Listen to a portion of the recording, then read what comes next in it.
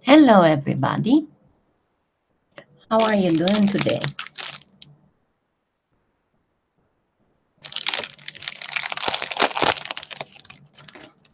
Oh, mon Dieu. Yes, everybody's here. You are all anxious to do the reindeer, aren't you? I just thought of, uh, well, yeah, a few minutes. I'm sorry. I just realized that uh, not everybody might have the colors that are needed. So I thought of actually showing you how to use just white and uh, burnt umber to do all the colors that you need. Tu dois, uh, Brigitte, tu dois faire le reload sur la page. Recharge la, page. Donc, j'ai dit que j'ai pensé que c'était mieux de vous montrer à tous, si vous n'avez pas toutes les, couleurs, comment faire les couleurs seulement en utilisant le blanc et uh, l'ombre brûlée. So, I'm going to have the white, and then I have some burnt umber. And of course, I, I keep forgetting when my machines are on the other setting. Oh, goodness.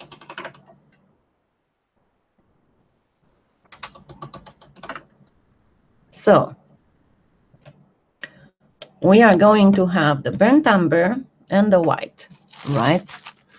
And remember, both of them on the same thickness. Hi, Tina. Hi, Cecile.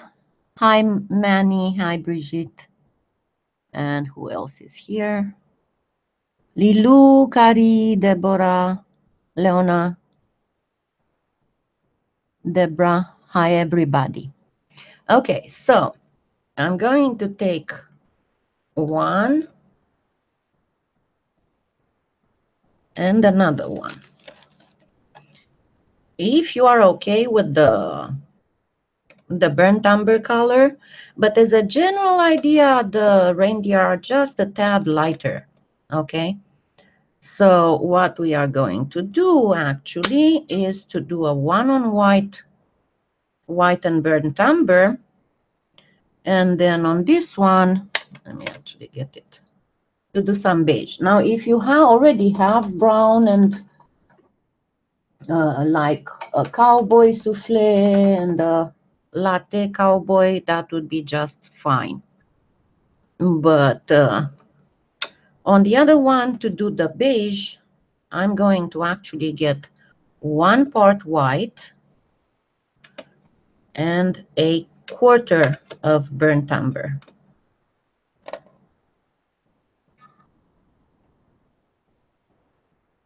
So I'm going to very quick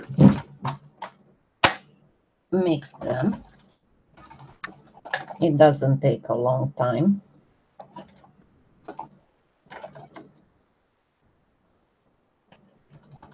But you should use the burnt umber, not another uh, color of brown, because other colors of brown might have uh, some greenish tints.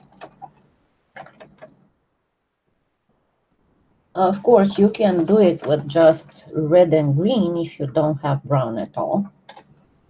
But uh, depending on the color of your red and your green, you'll have to vary the proportion between the red and the green. So here you go. I got my beige, and let me get my proper brown.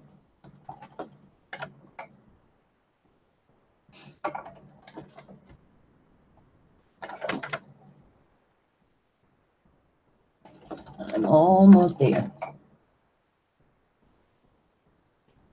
C'est du blanc, c'est du blanc, Brigitte. Donc, euh, tu prends une, une part blanc et un, un uh, quart de uh, marron.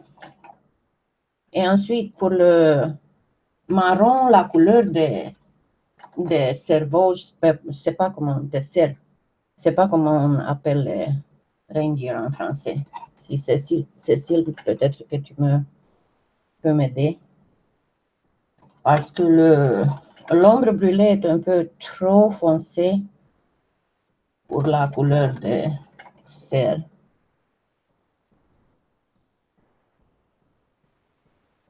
Hi, Brenda. Okay, and here's my brown. Now you can see that it's a much lighter brown than the burnt umber. And that is way too dark for a reindeer. So let me put them aside because we will need a little bit of white and a little bit of brown as well. And let me grab the wire. Because remember, I told you that you will need wire. Now, depending on the type of wire you have, hmm,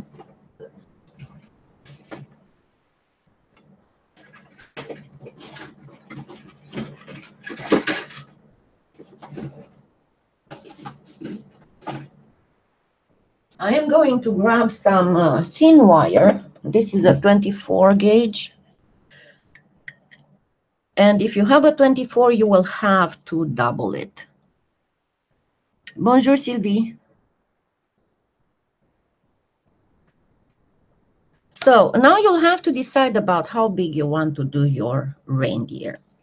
I am going to make it about this big even if probably if I would make an ornament, I would make it about this big. But I'm going to make it a little bit bigger so everybody can see what I'm talking about. And it is a good idea if you have never done something like this to kind of get yourself, you know, like a piece of paper and a pen to get an idea of the dimensions. So I would go pretty much. This would be the body. These would be the legs. Trying to make sure that you can see what I'm doing here. Then this would be the head. Okay, so I'm going to try, of course, the legs have to go a little bit lower. So this would be the armature, pretty much. And we will do the uh, antlers as well.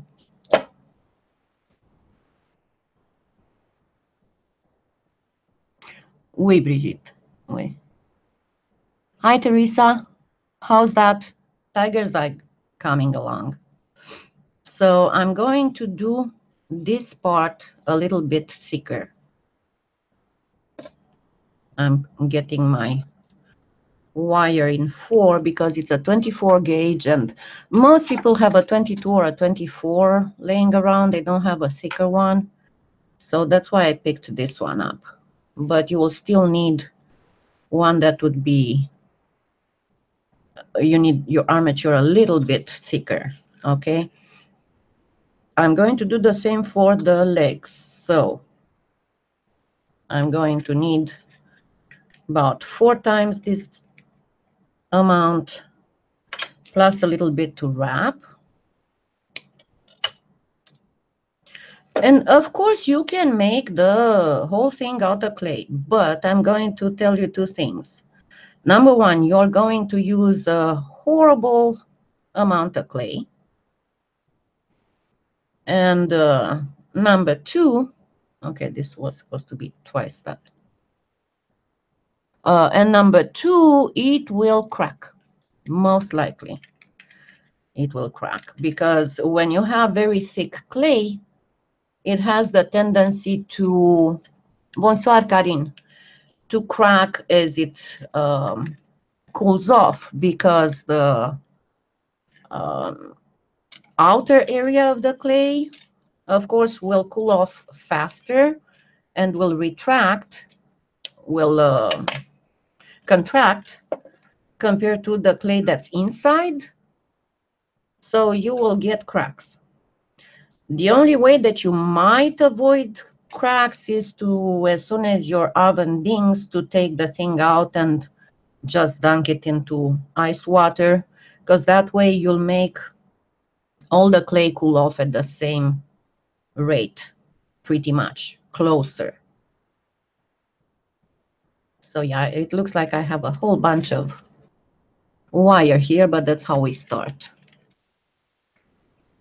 Euh, vous pouvez utiliser du fil d'aluminium plus épais si vous avez, mais moi j'ai pris du fin, j'ai de l'épais.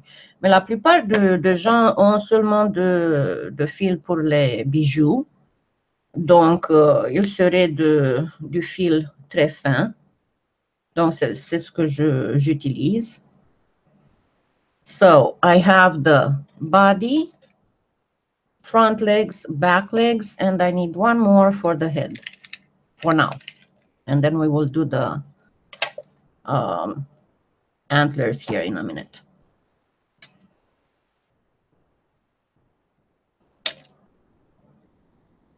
and this will be the head. Now we are going to build a frame for our reindeer. So here I'm going to have pretty much something like this. Bending this, then I will take one of the legs, pretty much,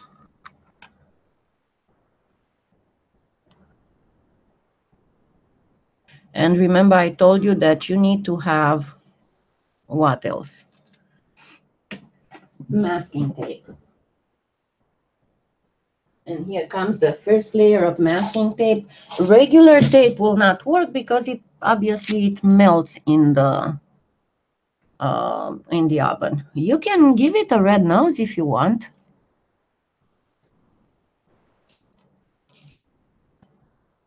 I bet.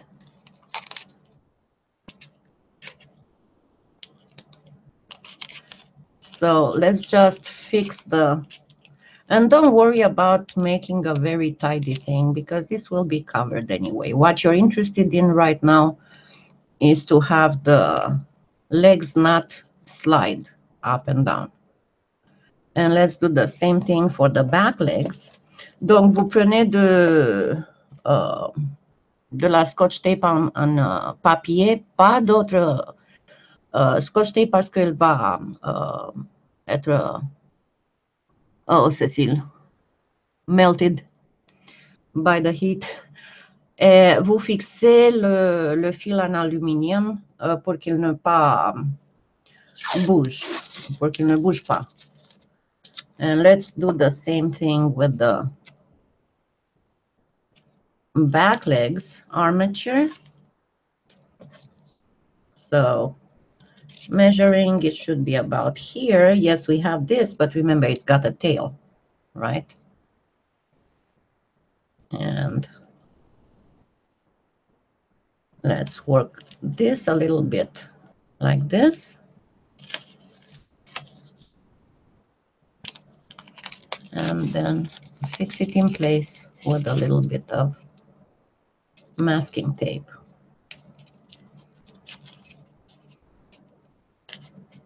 I know, it looks crazy, doesn't it?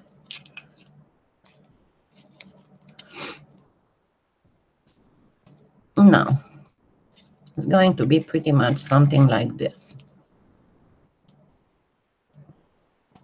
Actually, it's like this. Now let's twist these a little bit so we can get a proper height and length.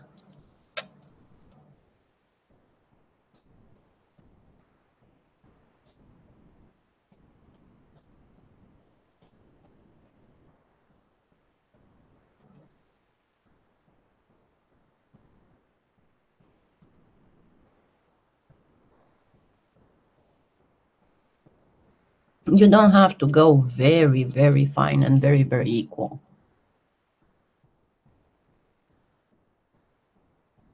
Um, no, because some, I mean, I used to use it before, but um, you'll see there's a different thing here going on. It's not, uh, number one, the more modern floral wire is, wire is covered in a plastic type cloth so that doesn't work. But right now you just want to fix them in place, not more, not less.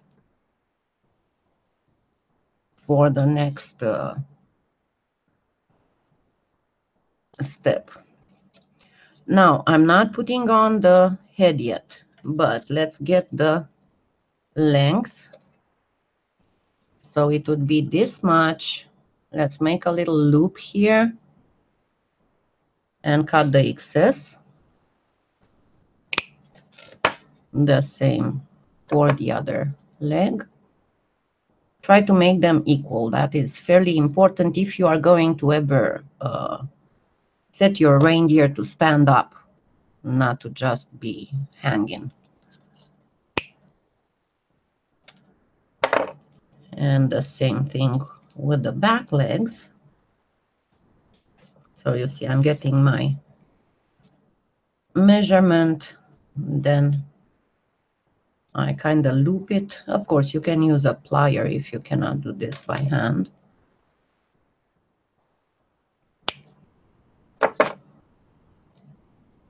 And do the same thing on the other leg.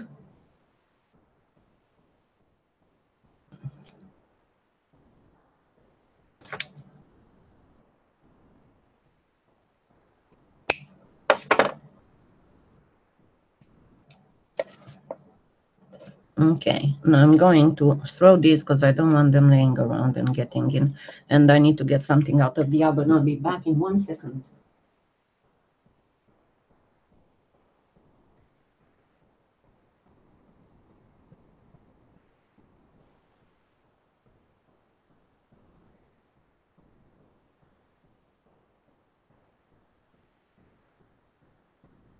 Okay, I am back.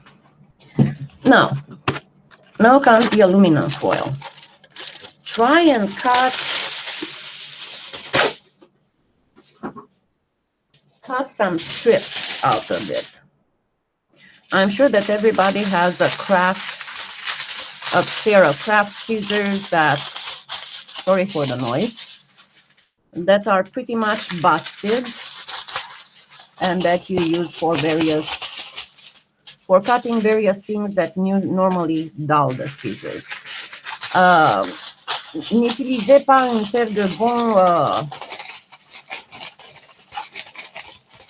oh God, I'm so bad about French today. Uh, utilisez un, un de ciseaux qui n'est pas uh, très bon. La plupart de, des artistes ont toujours une paire de ciseaux qui est déjà foutue. Donc, utilisez ça parce que le, le papier aluminium complètement abîme les ciseaux. Now, we are going to take this. Remember, we are not doing the head right now.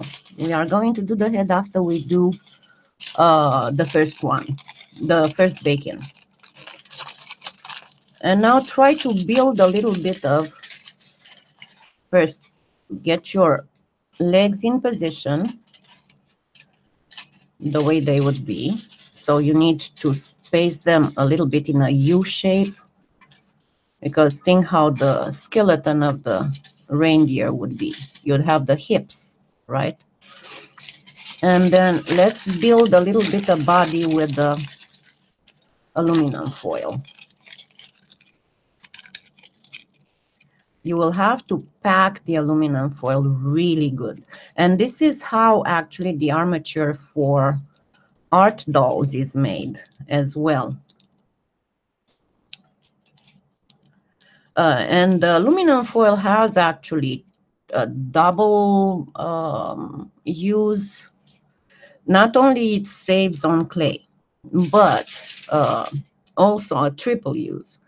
Also, uh, when it gets hot, it will ensure that the clay inside, from the inside, will bake evenly, the same as the clay on the outside. It's kind of like when you insert in a turkey an empty beer can that will heat up and um, cook the turkey from the inside too. And uh, the third thing is that it will avoid cracking because you will uh, have the aluminum foil. Remember, when you take things out of the oven, cools off very fast. So uh, even if the clay on the outside cools off faster than what would be the clay on the inside, the aluminum foil inside cools off at about the same rate as the uh, wrapping clay. And now let me say that in French. Euh, on utilise euh, la feuille de aluminium pour trois choses. Et à propos, c'est exactement comme ça qu'on fait les armatures pour les poupées d'art. La feuille d'aluminium, premièrement, va économiser sur la quantité de pâte que vous utilisez, bien sûr. Euh, deuxièmement, elle va assurer euh, que la pâte qui est à l'intérieur va être euh, cuite très bien, de même que la pâte qui est à l'extérieur. Et troisièmement, parce que la feuille aluminium refroidit assez vite, pensez quand vous sortez du four un pot qui est couvert en pâte aluminium, comme, comme la, feuille aluminium, comme la feuille se refroidit assez vite. Euh, donc, euh, la pâte qui est dedans va refroidir, la pâte qui est au dehors va refroidir et, euh, et absolument euh, la même euh, vitesse en le même temps que la feuille d'aluminium, donc il ne va pas euh, craquer. And now I think that I have enough body for this. Now you have to do it very, very, very packed. No soft stuff. And here comes the masking tape again.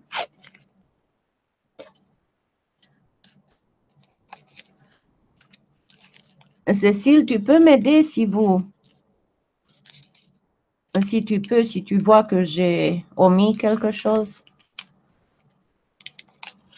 So now, pull the aluminum sheet very, very tightly with your masking tape. And the masking tape has actually, again, a double uh, use here. Not only um, it will make, it holds together the aluminum foil very packed, but it will assure that the clay sticks on a fairly flat surface and sticks very well because if you have the aluminum foil, the aluminum foil has all kinds of wrinkles and cracks, right? So uh, it will be a little bit harder to make a nice and uh, smooth surface on directly on an aluminum foil.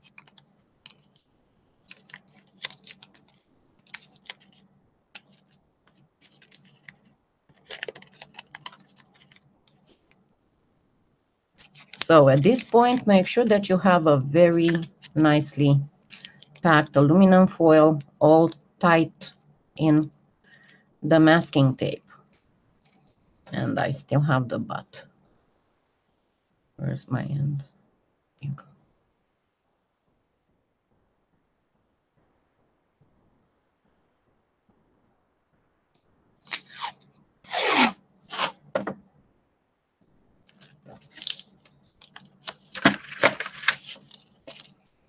And let's do the butt as well.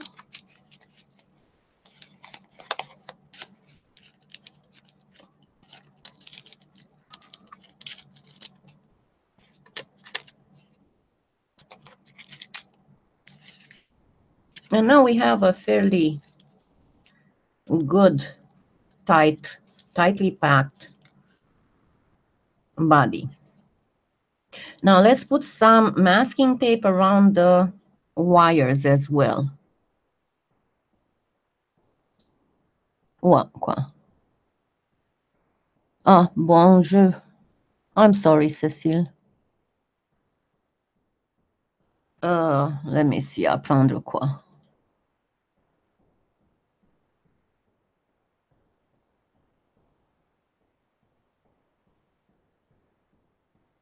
Ah, filmer.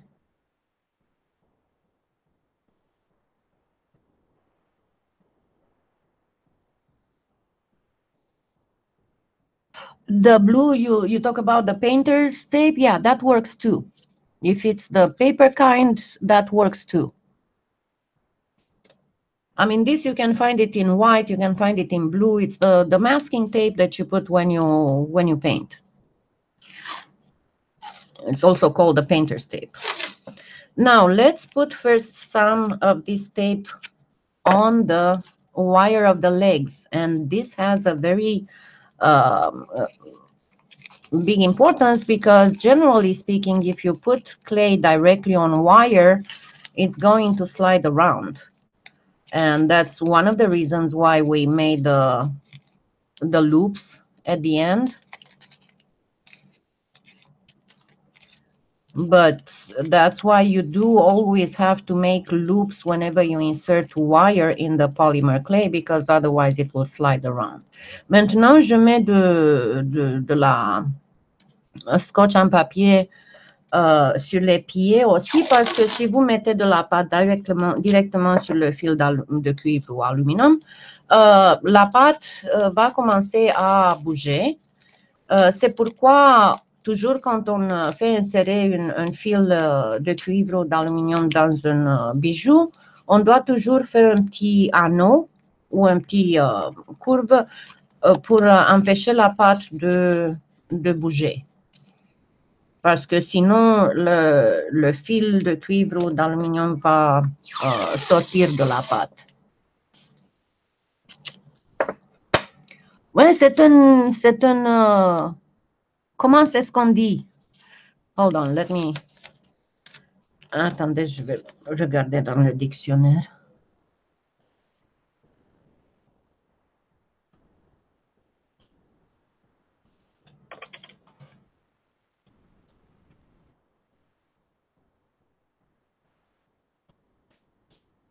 Un renne. Non, ça c'est stupide. J'ai un de ces très bons moments parce que vous savez que mon, mon langage maternel, c'est le roumain. En roumain, on appelle ça une reine. Mais je ne pouvais pas me rappeler comment est-ce qu'on dit en français. Quand je vous dis que mon... Ça, c'est parce que j'ai fait la chimiothérapie et ça affecte beaucoup le, la mémoire, euh, comment est-ce qu'on appelle ça, la mémoire euh, proche, pas la, la mémoire des choses qui ont, qui ont passé il y a longtemps, mais la mémoire de, un peu comme le Alzheimer. Et ça, actuellement, euh, ça s'appelle le,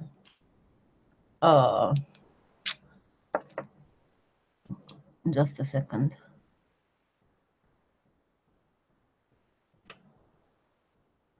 Le brouillard de Quémont, le euh, cerveau brouillard, le brouillard du, cerveau fait euh, causé par la chimiothérapie. Mais c'est un fait très connu. Et ça peut s'en aller dans une année ou deux, mais ça peut rester pour un très longtemps. Maintenant, je suis bien mieux que j'étais avant. Mais j'ai encore des moments où je ne me rappelle pas des mots.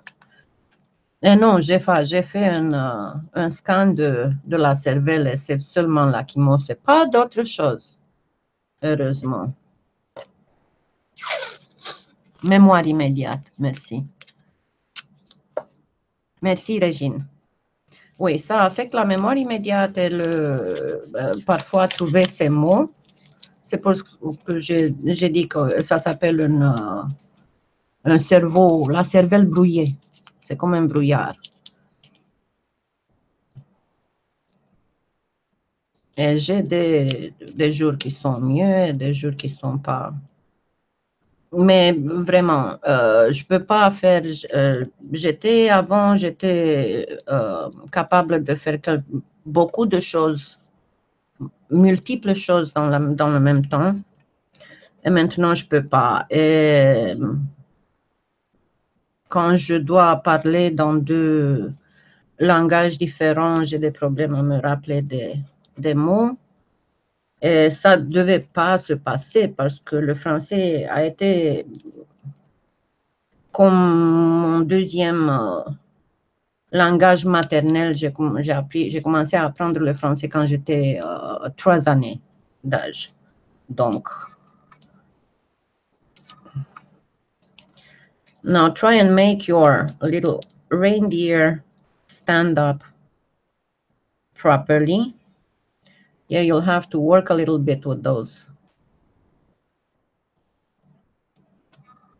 little loops at the ends. And there we go. It stands up without. Ça arrive en vieillissant aussi. Let me see if you can. I'm going to move the camera so you can see it better from the side. Just to give you. So this is how it's supposed to look. Okay, make sure that it sits. It doesn't have with the to sit with the legs equal because it can have a leg a little bit more to the side or it can be running or something. But this is how you position. When you make a sculpture, this is how you position. And you can, for example, position, let's say this would be a dog, okay? And you want the dog to be sitting. Then you remember we have the skeleton here. So we will bring the, the hip joint up and to make the dog sit. And of course we can, I'm not going to bend too much, but pretty much this is how you make the dog sit. Euh, J'ai dit que, c'est comme, comme ça qu'on fait les armatures si vous faites des sculptures d'animaux. Euh, c'est comme ça que vous les euh, posez pour avoir une pose naturelle. Vous devez toujours penser que ça, ce sont les os du euh, squelette.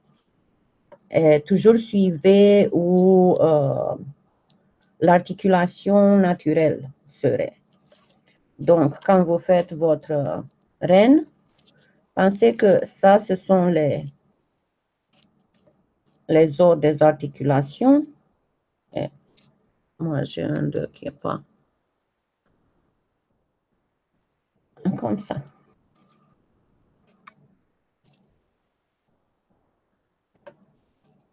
Mais prenez garde que il serait dans une posture naturelle. What? yeah, but uh, you can you can always um, you know rearrange it so you would have a proper uh, position. Okay. I know I had some scrap plate here. There we go. Now I'm going to just take some scrap clay. I forgot to put that in the in the necessary. And I'm going to actually pass it on the thinnest setting so I can start wrapping the base, creating the base. And you can also, a good idea is to place some liquid clay or Bake & Bond on the masking tape. That ensures the clay would adhere better. Do you see better from the side or uh, from above? So I know how to hold the camera.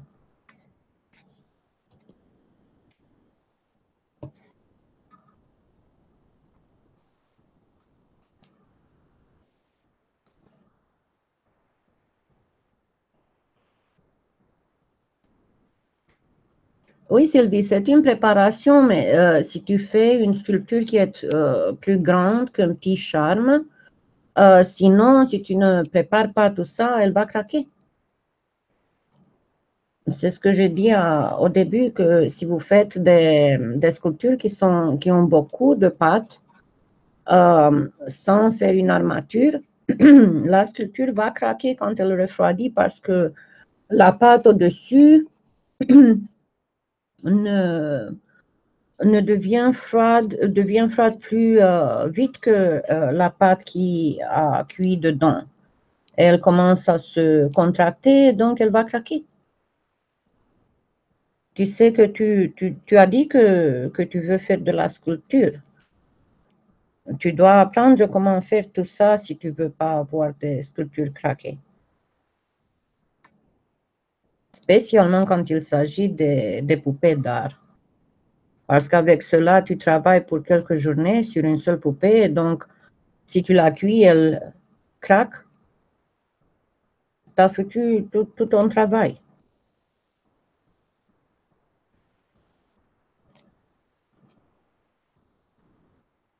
So you like better the tell me exactly which uh, which camera position is the best. Dites-moi quelle uh, position de caméra est uh, meilleure pour vous si je uh, maintiens la caméra comme ça ou si je la ramène uh, de nouveau en haut.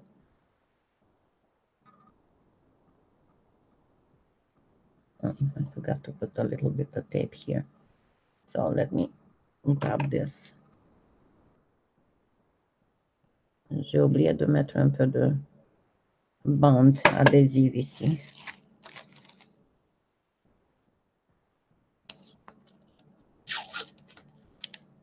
Ah, I forgot to take the little tail. We don't want the tail to come off, do I?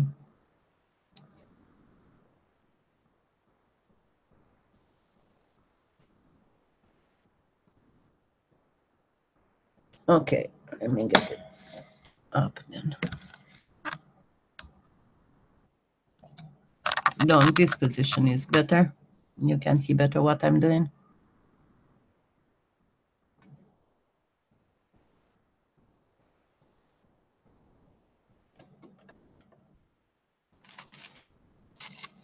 So whatever you use for um, making the No, this is scrap clay, Tina. I'm not going to use good clay to cover the masking tape. Whatever scrap clay you have is fine. And don't go beyond the masking tape on the neck. Leave some of it open. So now I'm going to get the legs.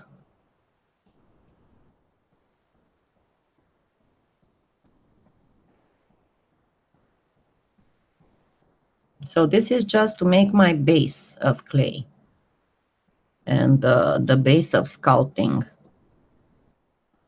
And then I will cover it up with the regular final color clay. And you can use just white clay and then paint it, you know, if you really want. So don't worry if it's all stripy and not looking terrific right now because right now all I'm doing is wrapping. Donc, euh, ça ne montre pas très bien maintenant, mais ce que je fais maintenant, c'est seulement d'envelopper euh, l'armature dans euh, de la, du pâte Burke. Donc, la couleur du pâte Burke n'importe pas. Je ne vais pas utiliser tout ce, tout ce bon pâte pour faire la base.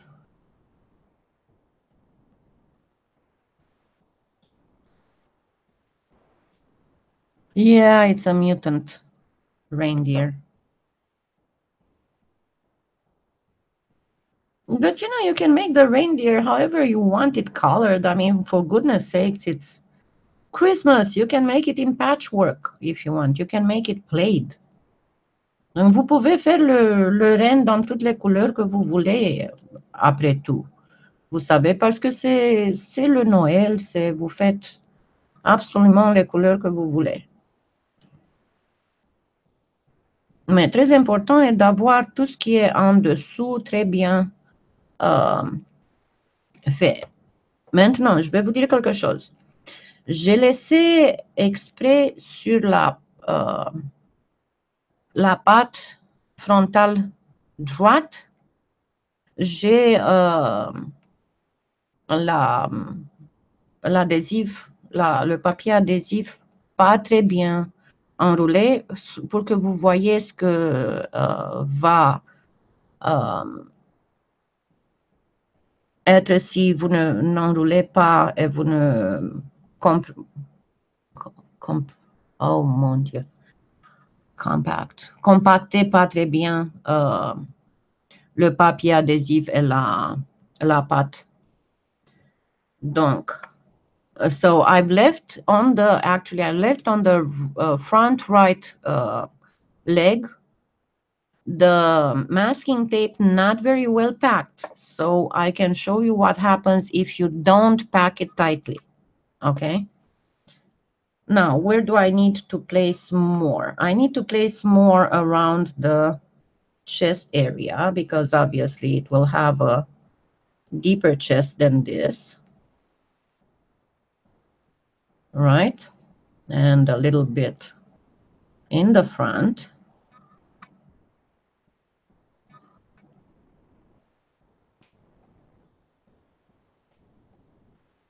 because it's going to be a deeper chest little guy. And now I can start smoothing up the whole concoction.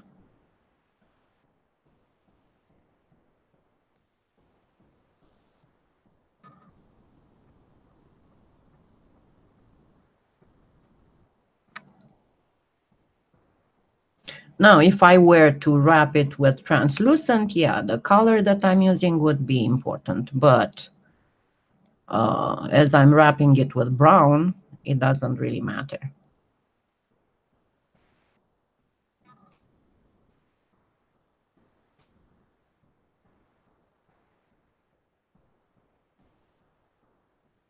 yeah, they could, Deborah.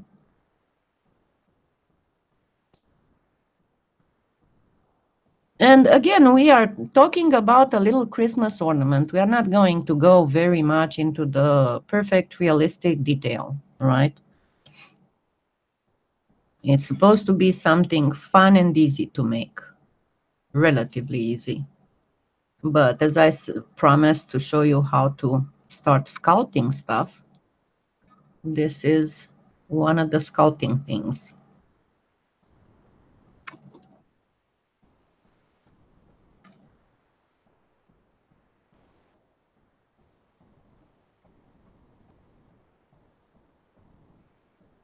Make sure that your clay is well packed on top of the masking tape. And now let's start covering it up. I am going to take a slice of the beige. And see, I have about a finger's width. And I'm going to place some here.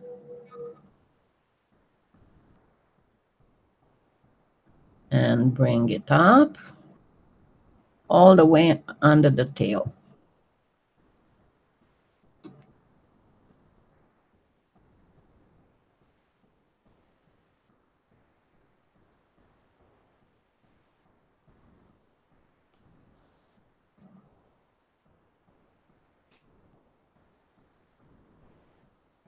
Now, don't start with if it's a boy or a girl we are making a gender gender neutral.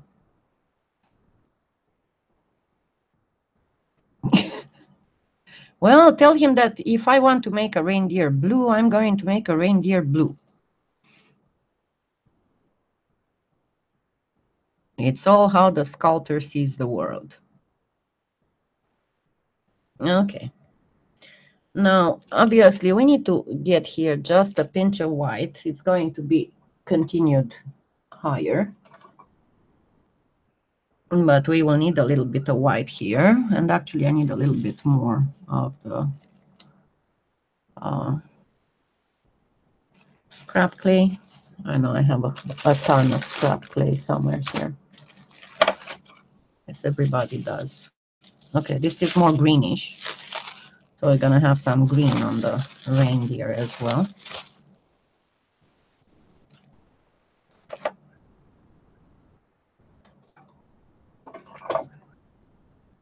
But always make your scrap into the thinnest setting and pretty much in a strip. I'm going to wrap it around the little tail.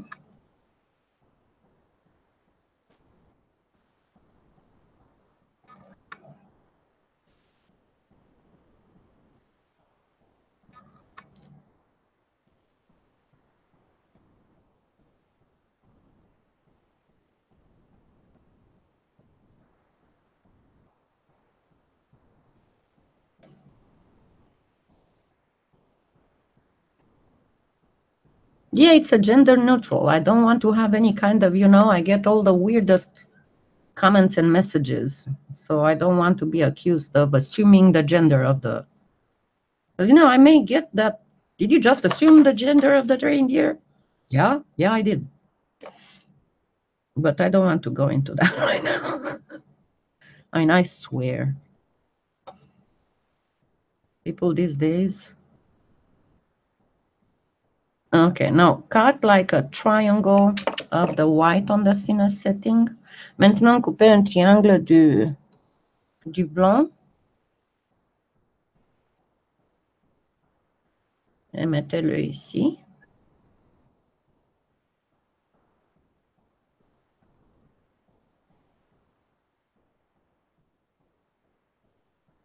Okay, and it's just a pinch more white.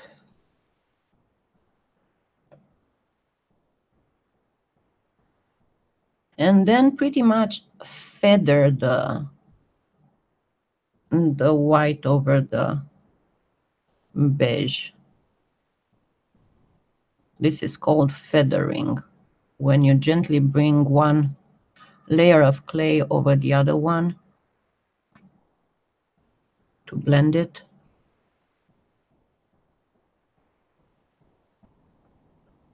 Okay.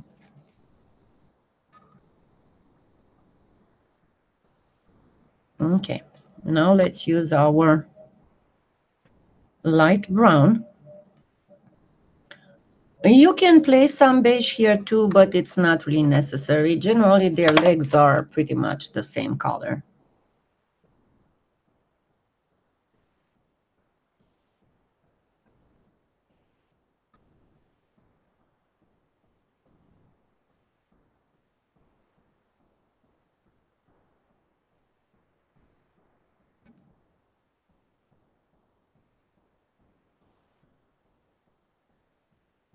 And now I'm going to wrap it in the brown. And when you get here you can just use your fingers and wrap out the extra. It's okay if you wrap too much because you can always add some more.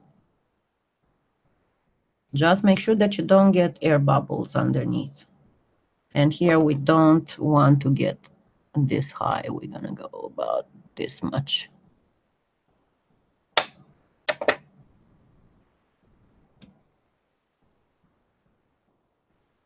And again, feather the clay here. On both sides, the brown over the beige.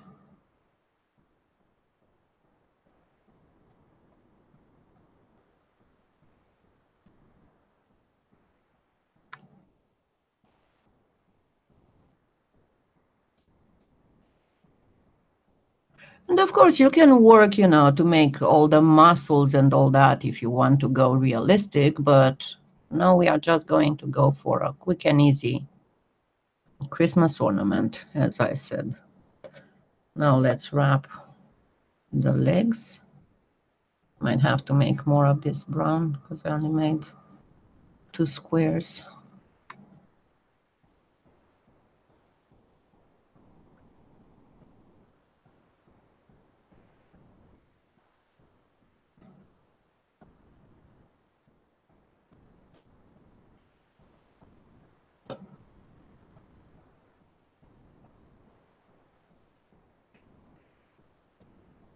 Quoi? I need to catch up with what's going on in chat because you guys are something else.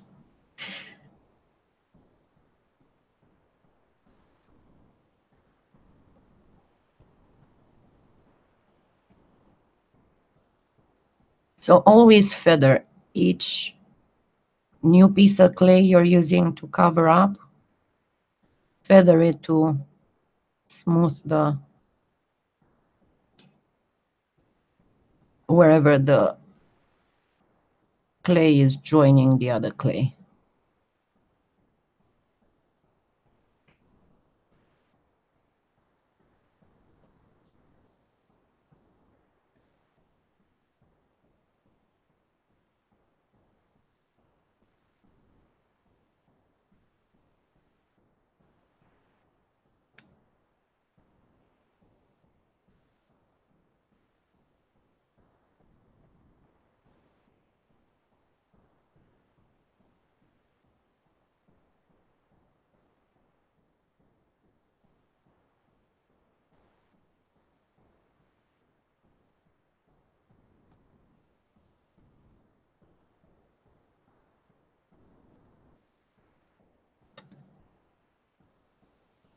And see how it comes along. As I said, we are making it pretty much like a stuffed toy at this point.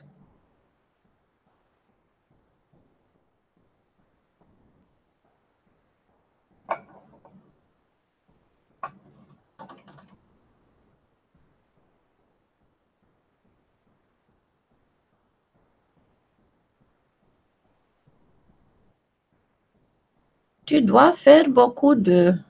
Tu dois exercer beaucoup, Sylvie, jusqu'à ce que tu apprennes les proportions.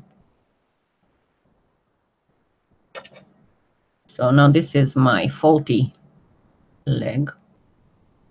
Remember that I did not compact the masking tape on it properly.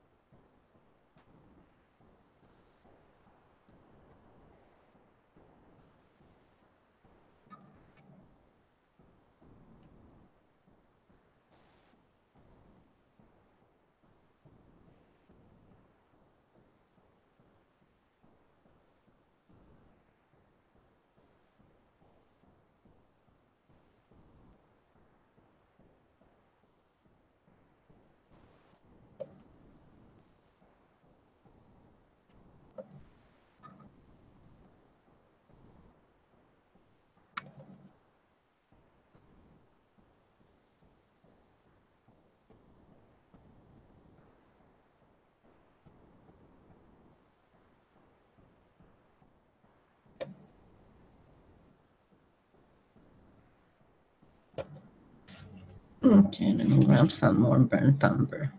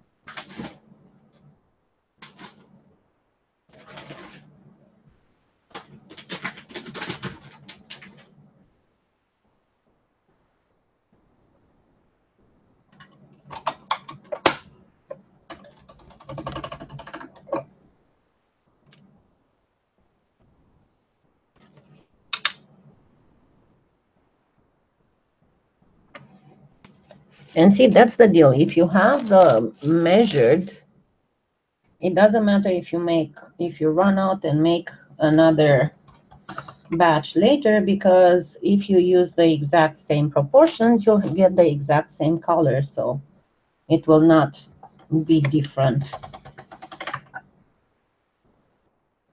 than the rest of the body.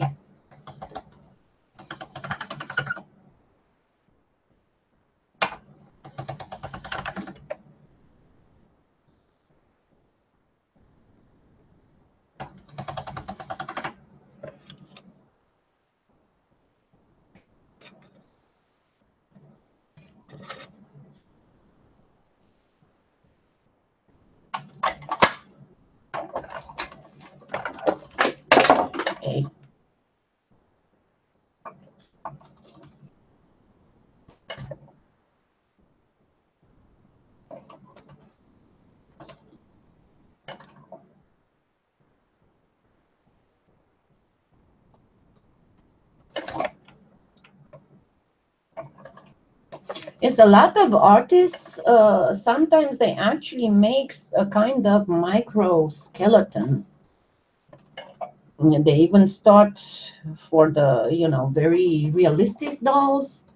Uh, they actually start with a real skeleton and the real uh, skull in which they uh, arrange the features.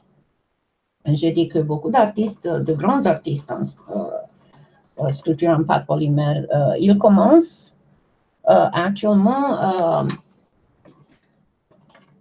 en commençant par un squelette avec le crâne et tout ça. Et, euh, c'est ce que ce qu'il sculpte premièrement et ensuite il, commence à le à mettre de, de la chair sur euh, la poupée.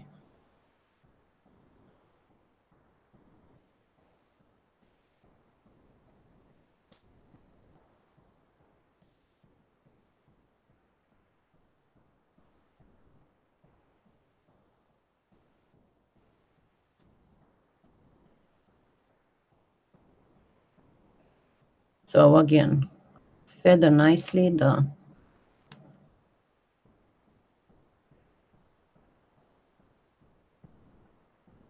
to blend.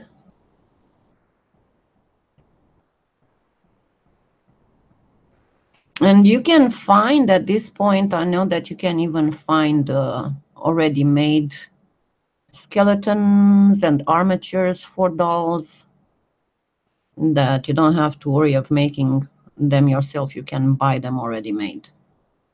Euh, il y a, euh, à ce moment, on peut euh, trouver dans des boutiques de d'art des squelettons déjà faits ou des armatures déjà faites pour des poupées, généralement pour des poupées humaines, mais on peut les trouver déjà faites pour ne pas avoir de les travailler vous-même.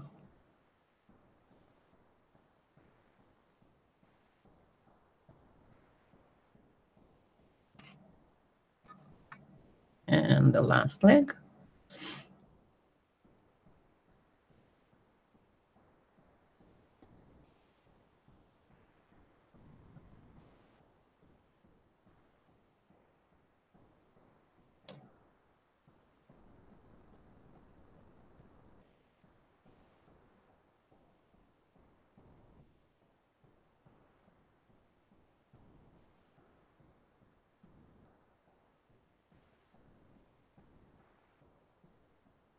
No, no, no, not reborn dolls. Just regular. I'll try and find some. I know that I've even seen them at Hobby Lobby, the doll armatures. The, the, the um, general uh, dimension for the art polymer clay art dolls is between seven and eight and a half inches tall for a human doll. And those, I think they are for eight inches dolls. And that you go to a scale to one to eight on everything that you're making. But they are generally um, art doll artists that sometimes sell all this stuff and you can find a lot of tutorials on that.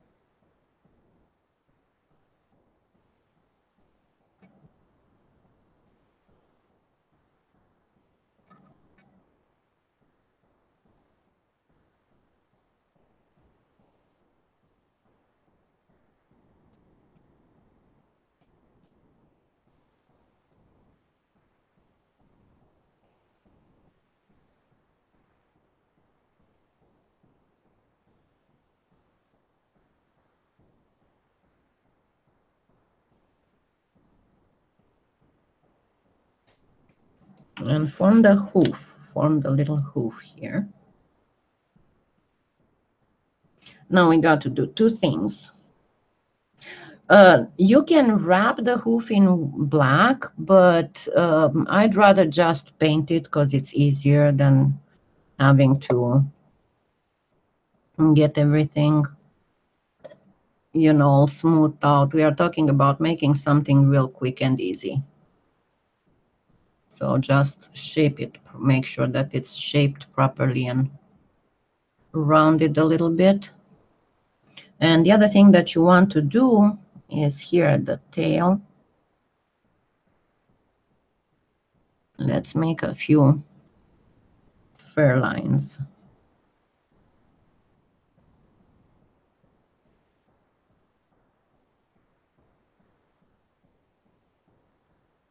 I know I smudged a little bit of brown there. It's got a dirty tail.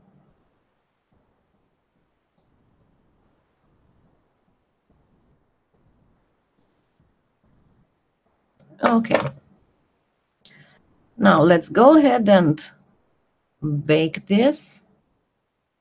And while it bakes, we will be doing the antlers.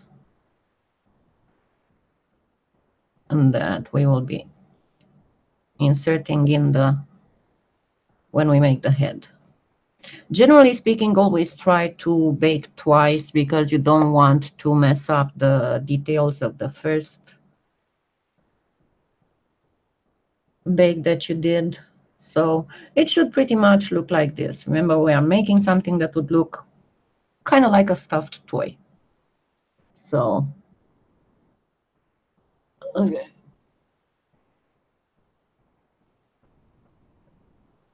Okay. Let me go put it in the oven.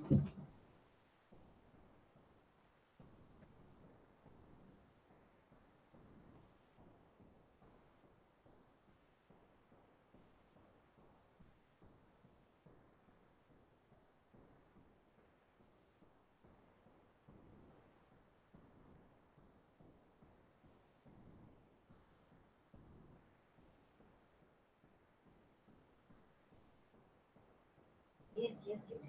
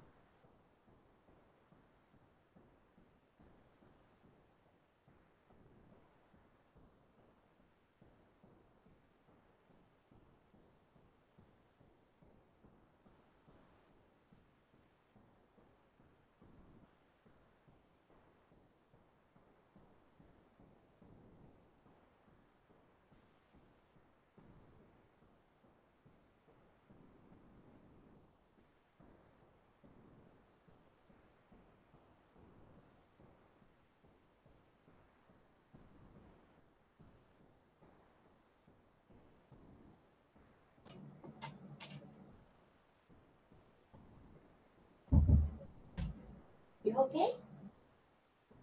Sorry, somebody had to go outside. Okay, now we will need, remember, we still have the head wire, but besides that, we are going to need two more pieces. And let's go for about, I don't know, how much is this? About 10 inches for each antler.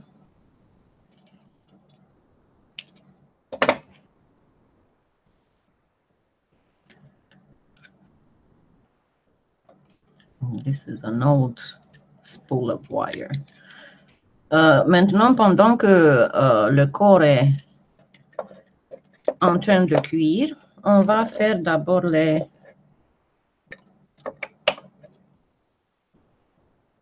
euh, dictionary.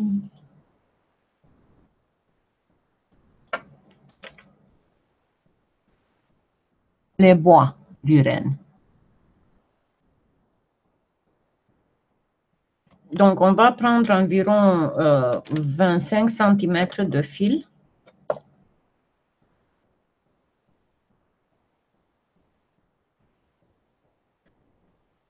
And leave a circle here. It's important.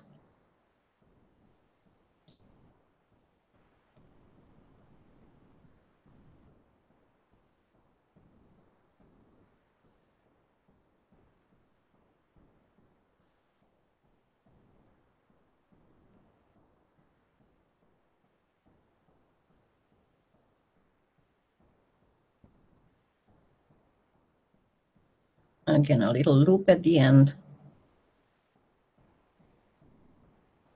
And keep wrapping. We are not going to make many branches.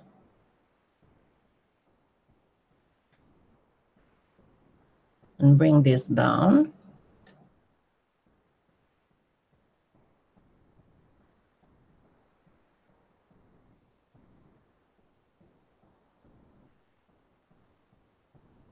And now bring it up again. Bend, twist,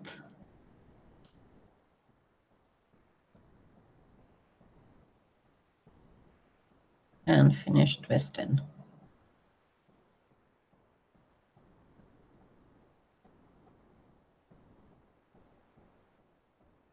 And we have a reindeer antler pretty much. Now let's make the second one. So again, this time I'm going to explain.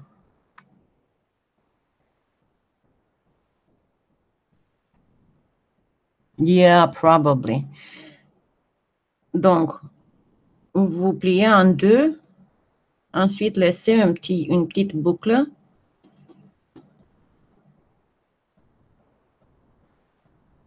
And try to go by the one you've already made. So pretty much here.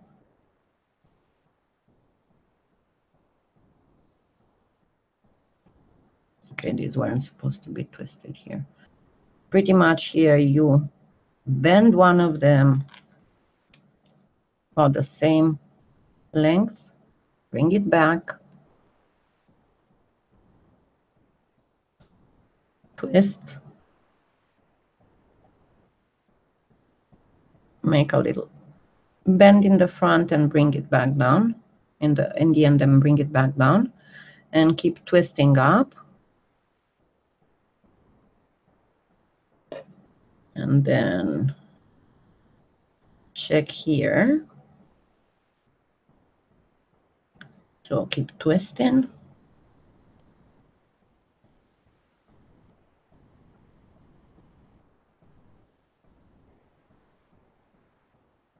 So you go first and make the longest one, okay? And then you come back down, twist, till you get to this one here, bend, and keep twisting and you have your second antler. And now, of course, the next thing we do. No, thank you, Carrie.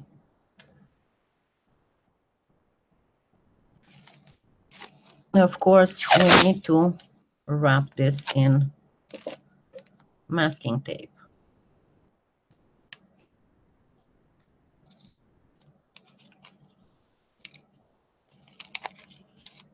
and you'll just have to keep breaking the masking tape to get the main. And this is why it's a great thing that the masking tape is paper because it's very easily broken by hand.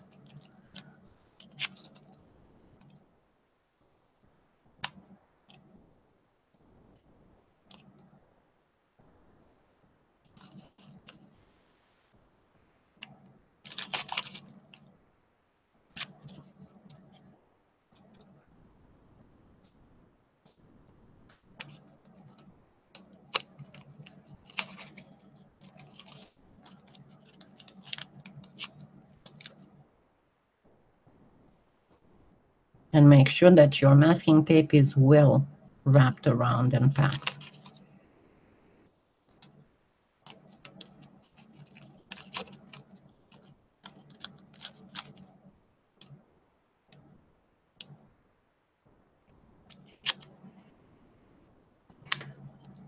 Ah, crois-moi, le premier que j'ai fait a été terrible aussi. Donc,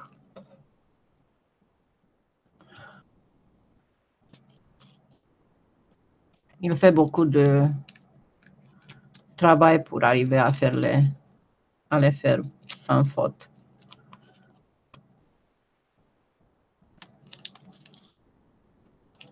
Je crois que j'ai pas fait, j'ai pas fait un dans plus de 15 ans.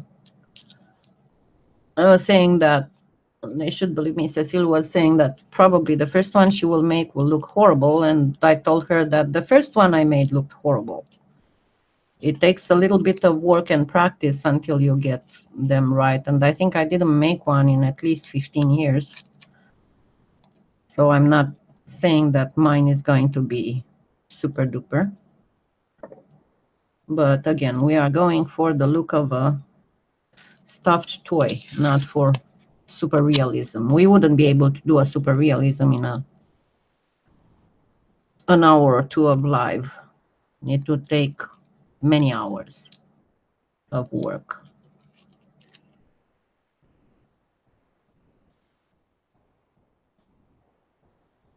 Okay, now make sure that everything is well and nicely wrapped.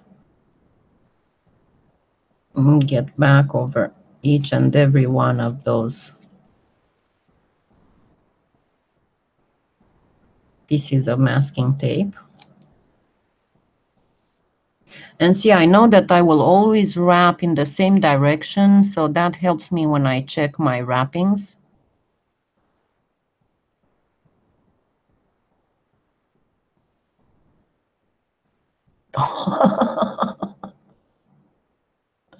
yeah, not if he got skunked, huh? But it's not the deer's fault that he got skunked,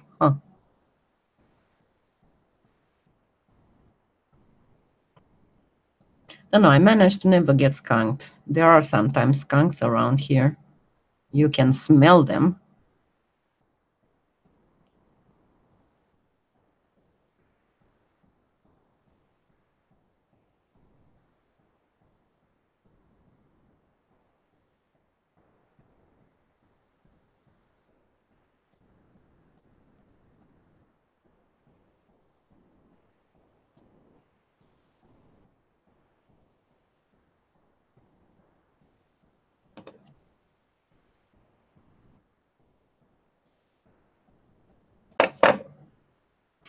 Okay, now let's start wrapping them in clay in the darker brown.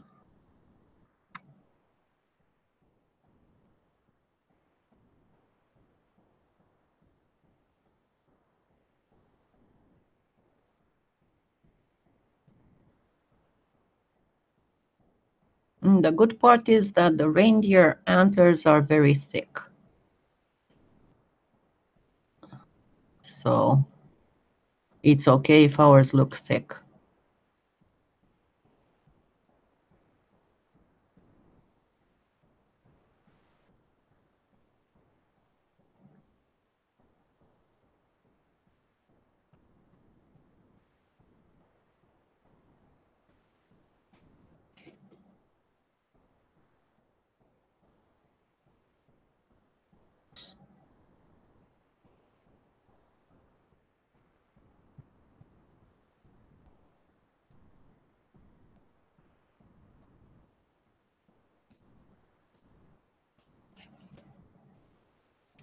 Maybe I should put on some music. It's so much silence. Can you imagine if the chat would be sound too?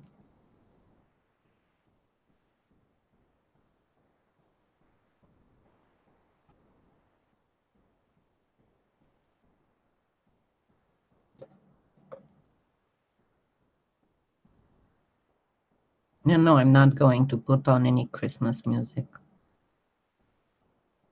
This is a good thing that I don't have to go out anymore and I don't go out anymore. That's one of the few good things that at this time of year I don't get bombarded with Christmas music. So I can still enjoy it when I play it on Christmas night.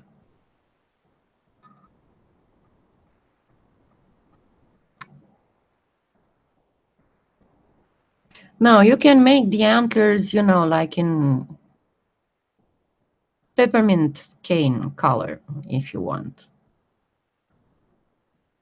As I was saying, you can make your reindeer in all colors. You don't have to make it with realistic colors.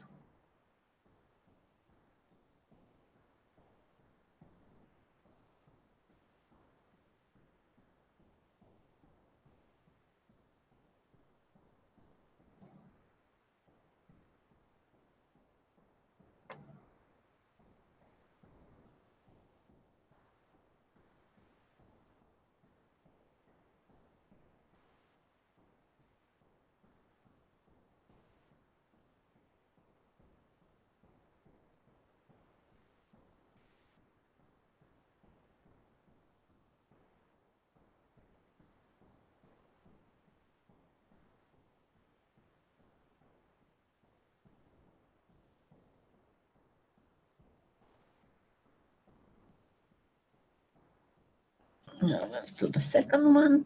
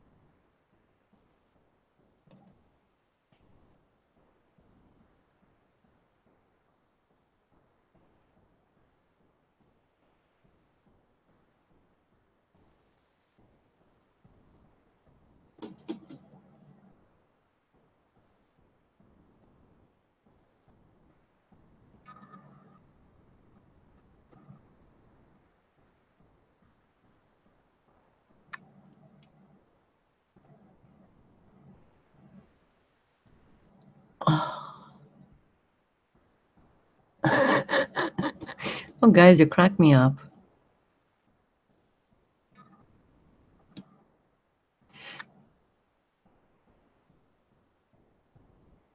Okay, make sure that you pack your clay properly, that it doesn't float on top of, uh, and that's how you will know that you packed your uh, masking tape right, because if you didn't, you'll feel hollow under the clay, like, you know, like the clay is on a,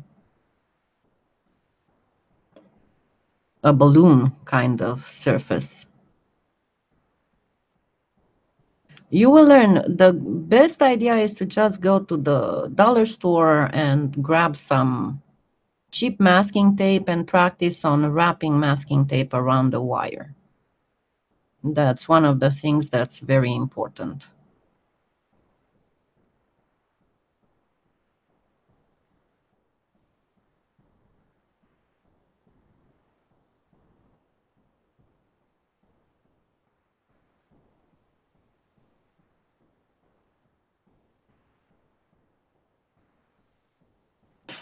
Thank you, Carrie.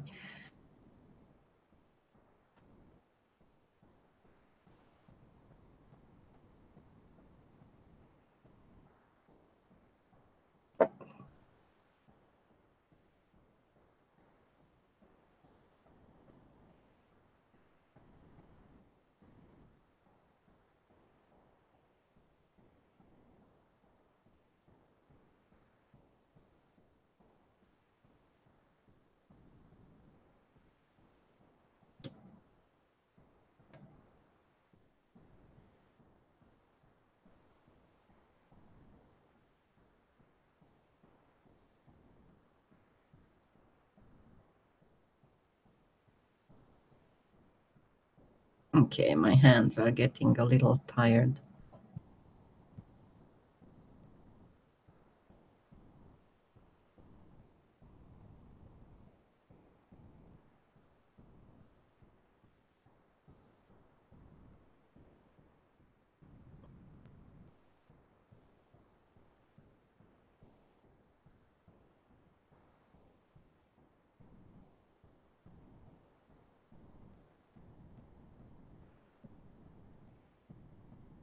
Okay, it's 1.30 almost.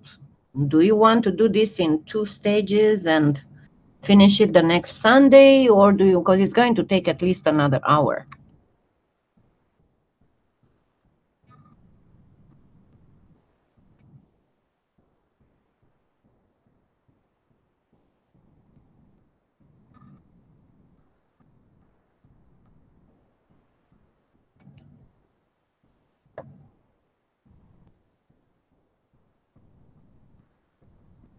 Now make sure that your antlers are fairly symmetrical.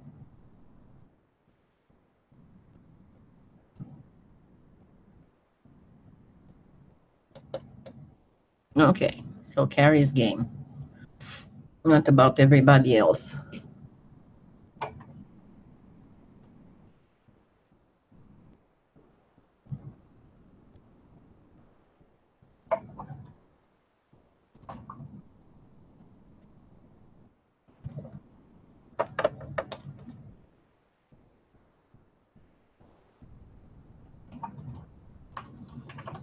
Oops.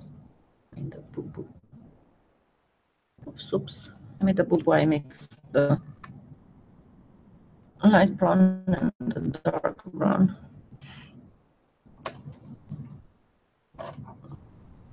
I am fine. It's I don't want to have a live that would be too long and people would lose interest, you know.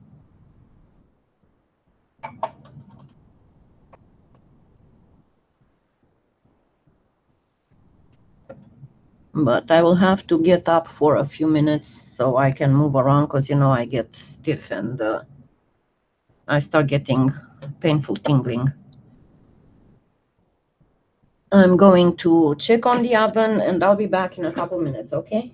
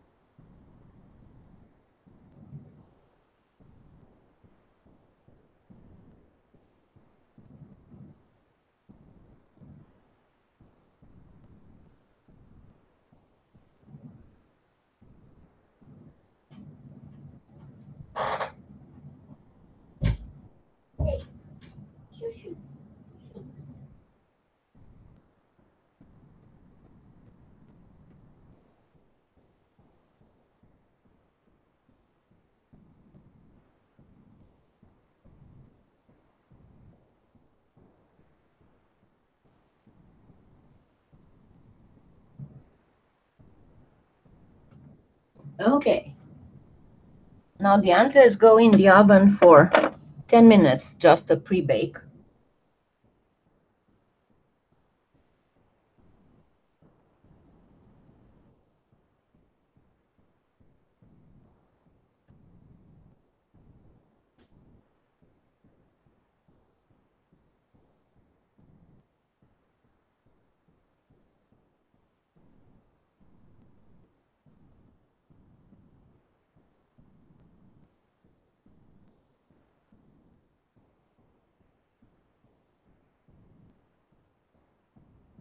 And let me show you something in case you want to start um, sculpting little creatures.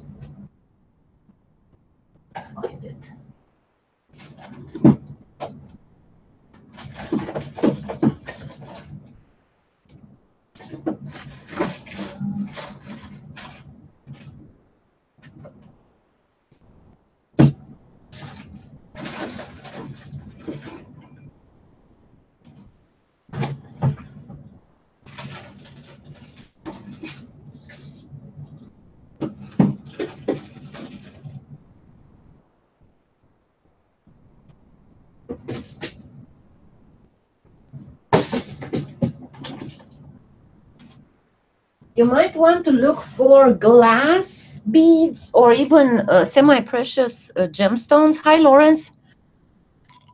Because instead of making the eyes or, oh God, I cannot open this jar, or um, making eyes, you can use little black beads for eyes.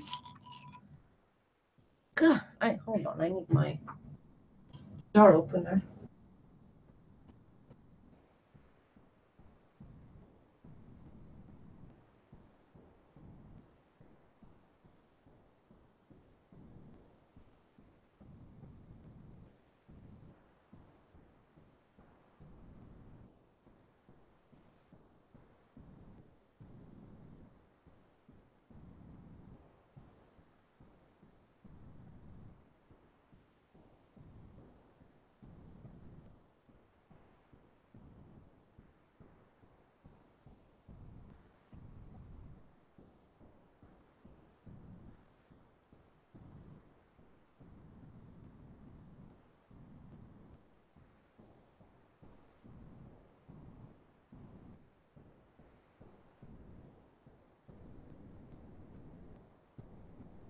Sorry for that. I have issues opening jars.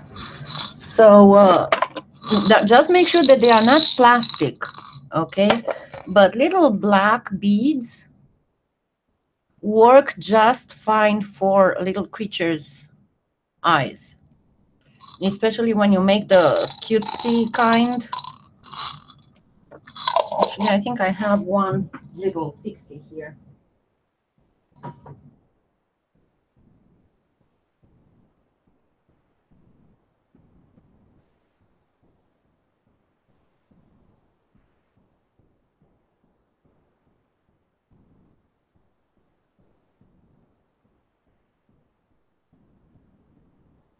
Yeah, that's a little pixie that lost a year when I was going to a fair with it. So I would have to fix it to sell it again. But uh, see, this is with black beads eyes. Oh, I'm trying to make the camera focus. There you go and it lost it again. Let me try again.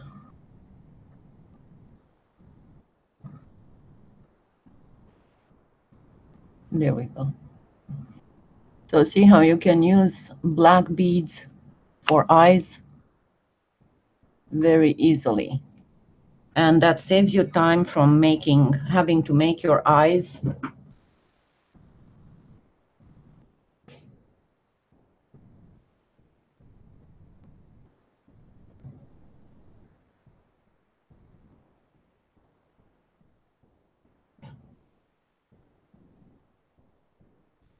But of course, you can make your own out of clay or purchase some already made or paint them.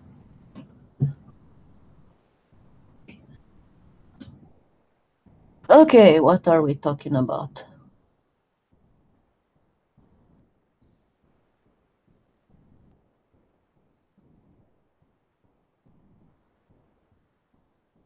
What color, what?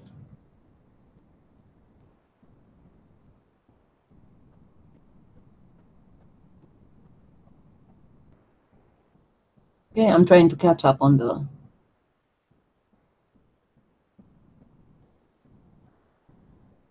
chat.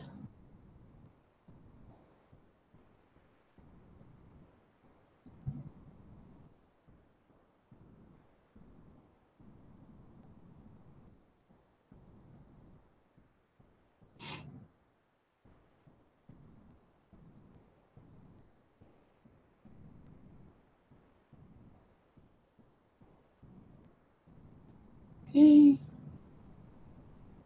Pepe Le Pew.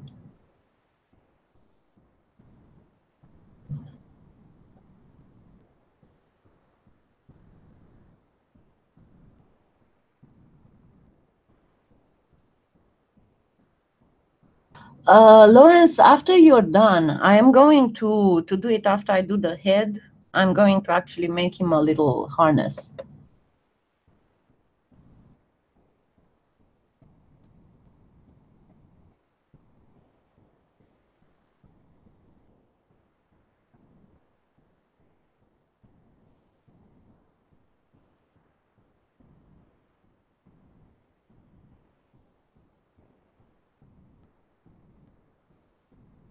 Oh, Lawrence has been here for a while. Okay, it's still a little warm, but it's okay. Let me bring up my screen so I can make sure that I'm in the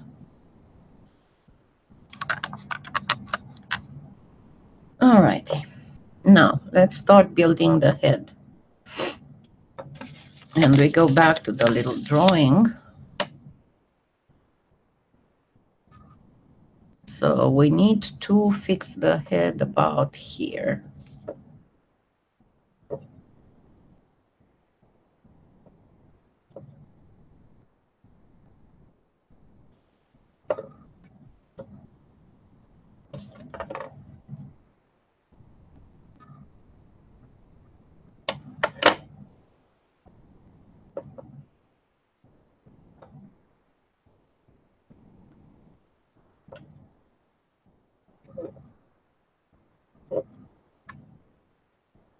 Oh, yay. Good job.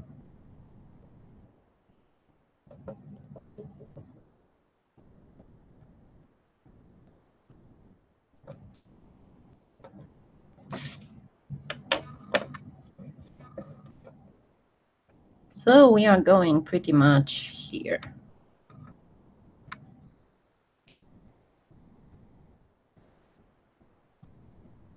But yeah, I wanted to show you the whole armature thing so you know how to do it in case you want to make uh, bigger sculptures than just charm size.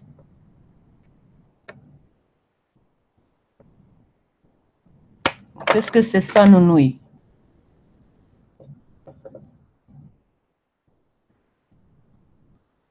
Oui, j'ai déjà coupé le fil au début du vidéo.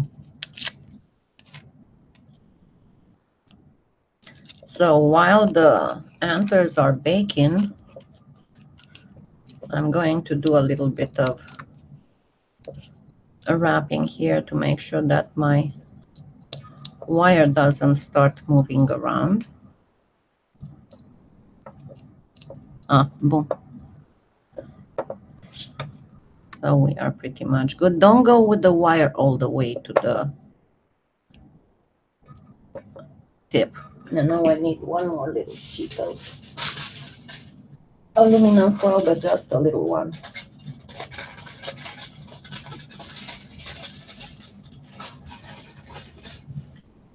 Because we are going to have to fix the anchors here in a bit.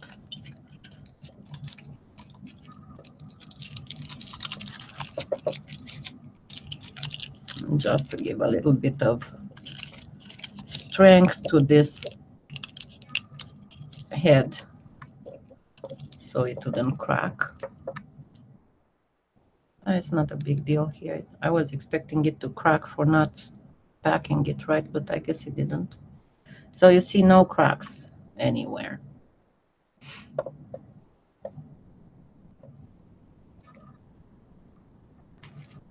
And I'm going to place some masking tape on this piece of wire here.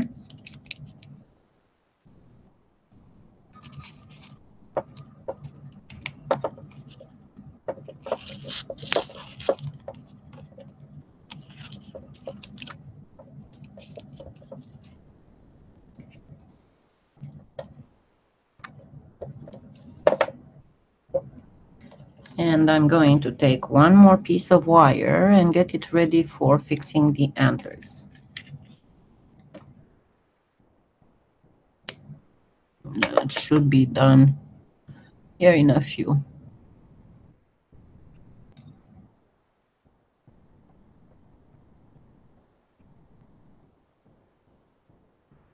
I'll just twist it around.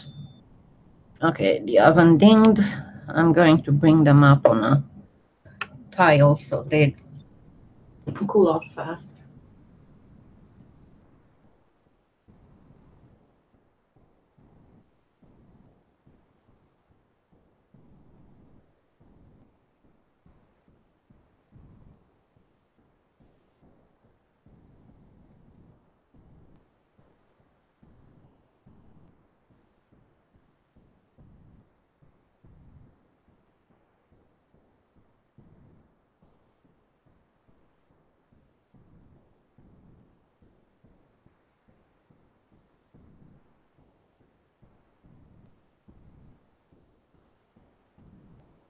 Alrighty, now I'll have to wait a couple minutes for these antlers to get cool enough to handle. And in the meantime, I have prepared my darker brown in a thin sheet, my lighter brown in a thin sheet, and I'm going to get some white through the pasta machine in a thin sheet, thinner sheet.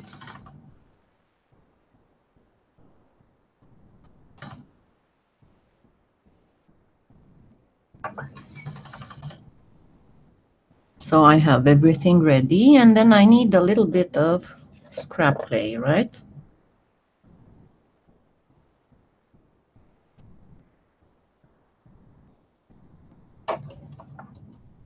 Also in a thin sheet.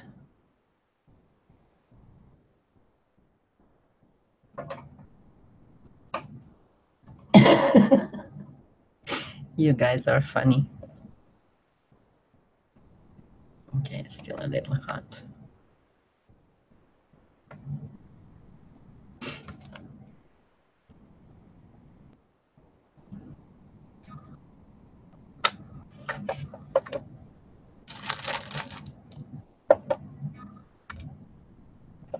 Okay, so right here, okay,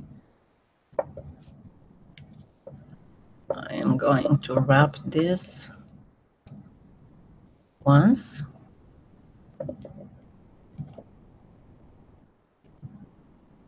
And make it fairly tight.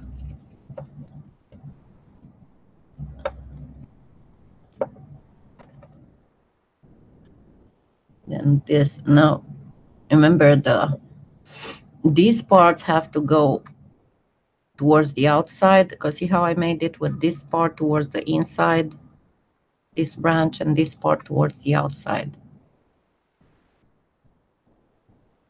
So I'm going to place them separately.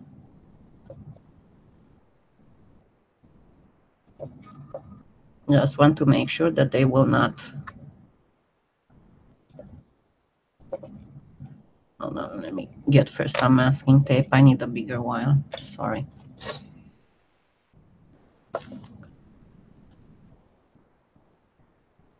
So let's first place the wire, wrap once, masking tape. But you want your antlers already made and fixed in place because otherwise they would be very hard to hold. Then left wide antler.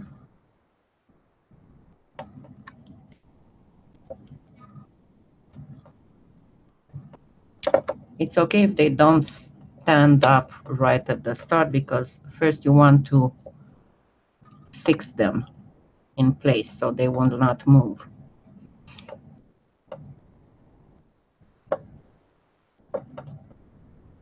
Now grab again this one and this time bring it over. I hope you can see what I'm doing here.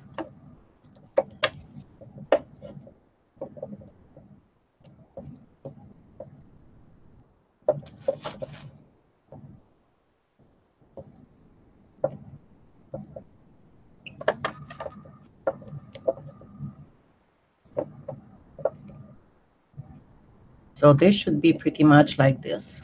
Now we are going to fix them in place with the masking tape.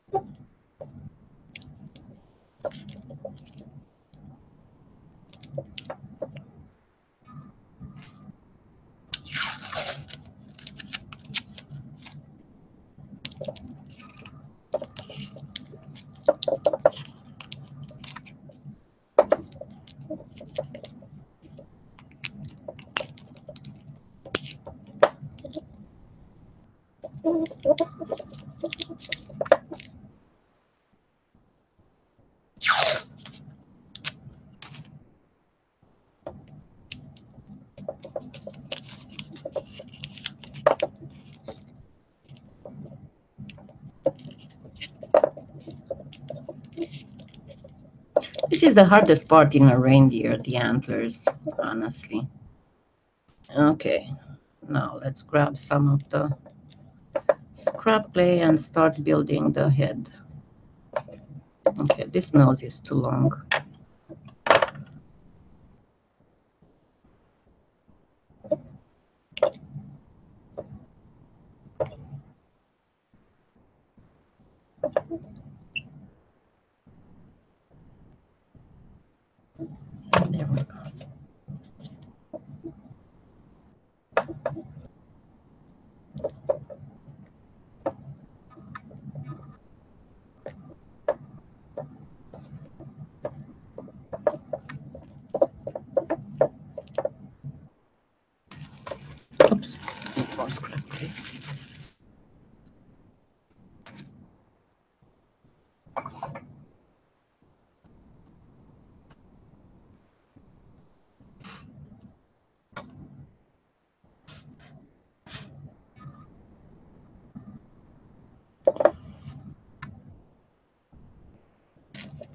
Okay, no, the nose is still too long. I don't like it. I'm Going to cut all this end.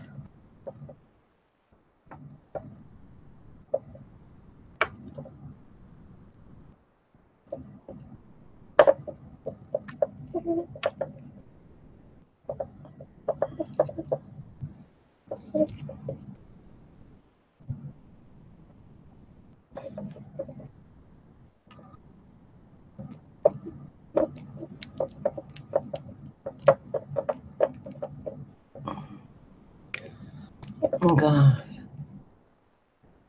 I hate all these notifications. What do you want?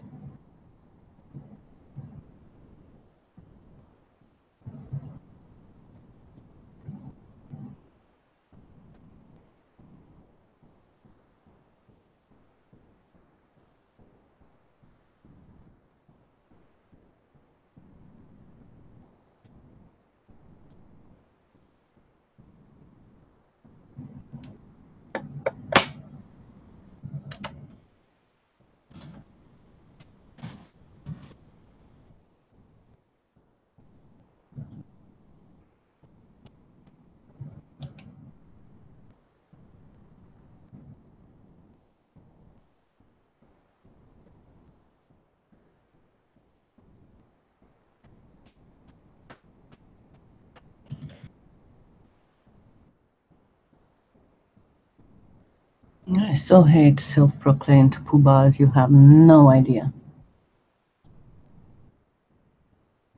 Okay. So this was way too long, so I had to redo it, shorten it a little bit. So let's re coat it with scrap clay. And you saw I put, put a little bit of Bake & Bond on the bottom, on the neck. So I'm going to wrap it in scrap clay. And a lot of times, to be very honest, the way that I do it, okay, I first build the armature and then uh, I cover it with scrap clay and then I bake.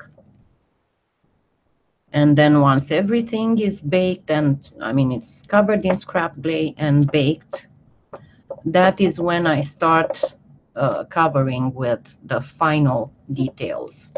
So if I would want to make a realistic reindeer, I would first do the body in scrap clay, then I would uh, do the antlers, the final antlers, then fix them on the head, cover the head with and the neck with scrap clay, bake, and then go ahead and do everything with the final um, color of clay.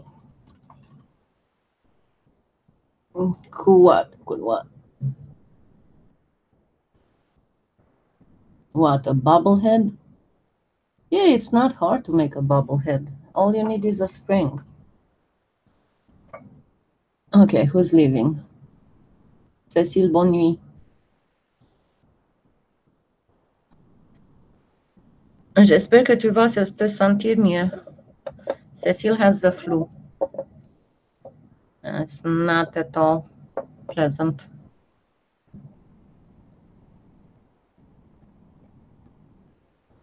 And another uh, tip, let me tell you another tip. When you place the eyes, uh, place the eyes in the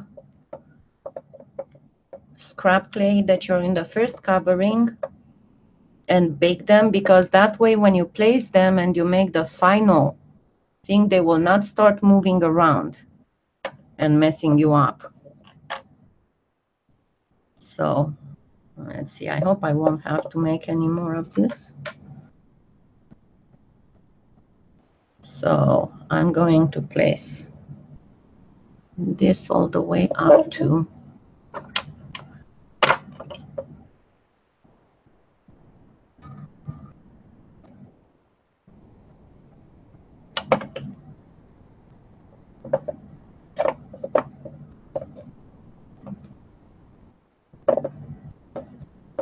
here.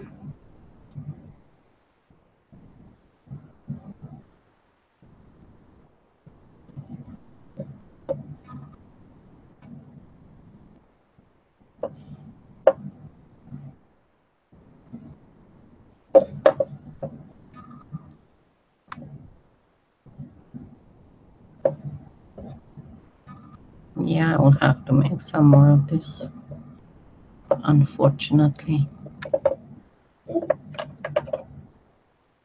Okay, first let's place some white here.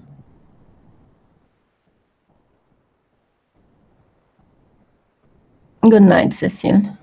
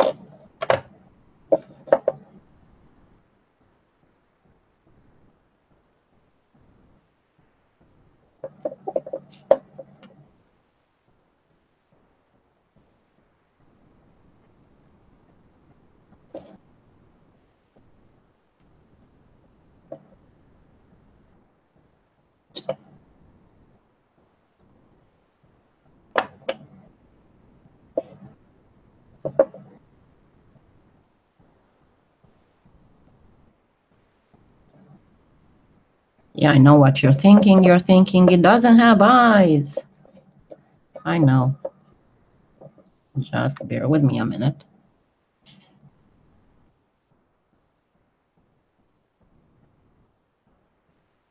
Let's fill this part out. And then here also feather to make the raw clay over the baked clay unnoticeable.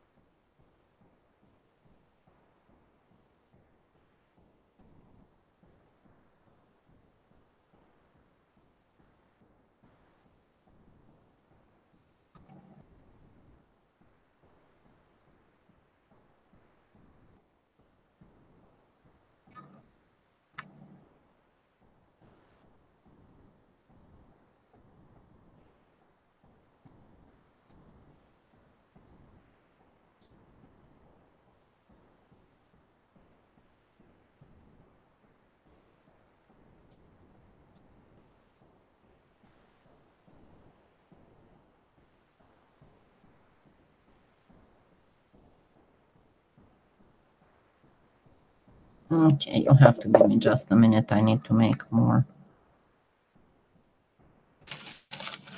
this brown.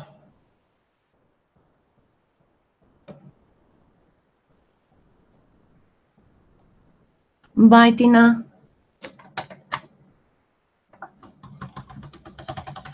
And see, that's what I was saying when I asked if you're sure you want me to keep going. Because it can get a little tedious after a while of to keep watching this.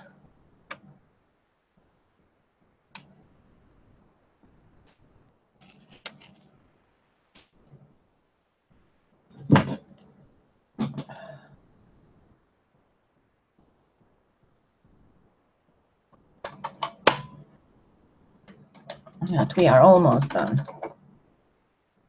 Almost.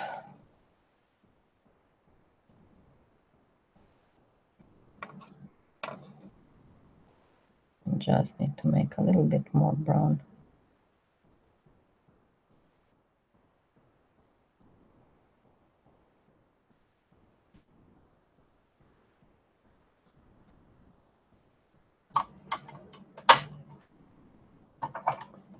I know you're still there.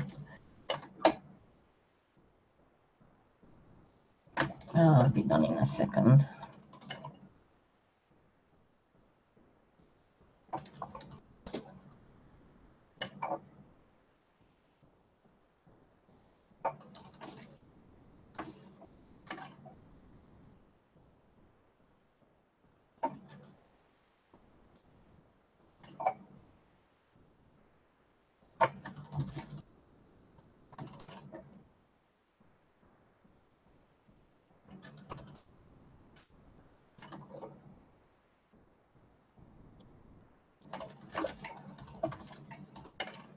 Okay.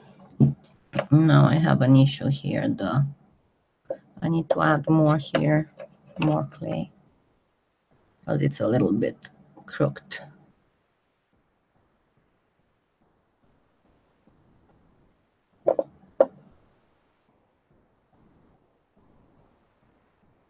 And there we go.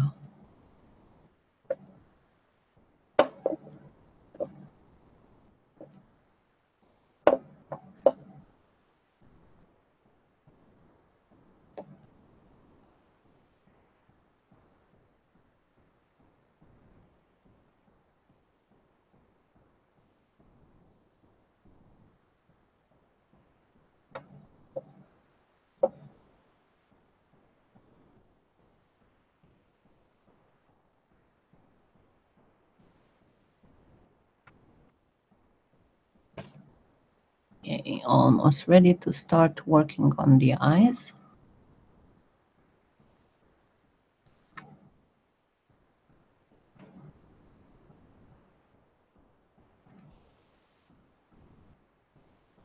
Let's just feather all this area nicely.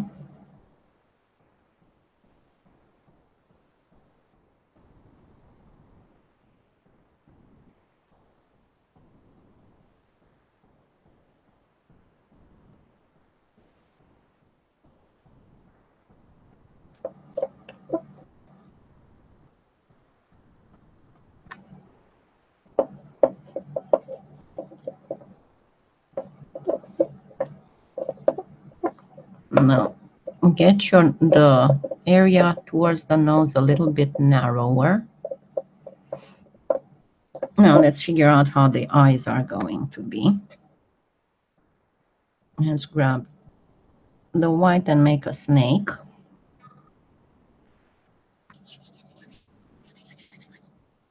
Because we want him to be pretty, right? Now, we need about these big eyes. So if we want him to be cute, generally uh, a rule of cute is big eyes, always, no matter what you're making. If you're making kittens, dolls, whatever it is, nothing will tug at the heartstrings better than big eyes.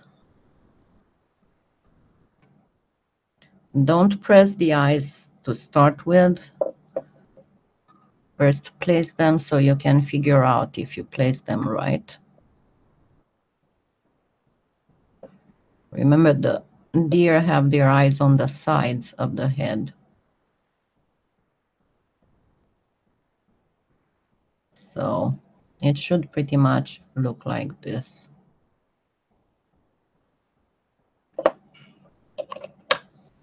And now comes a little bit of more delicate sculpting. Let me bring a strip all the way to the nose, first of all.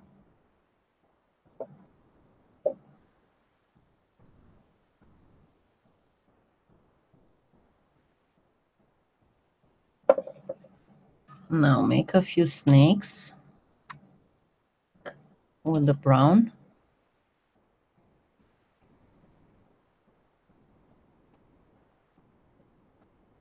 You can actually make him different uh, clothing that you can remove, like a little saddle that you could remove and replace if you wanted to.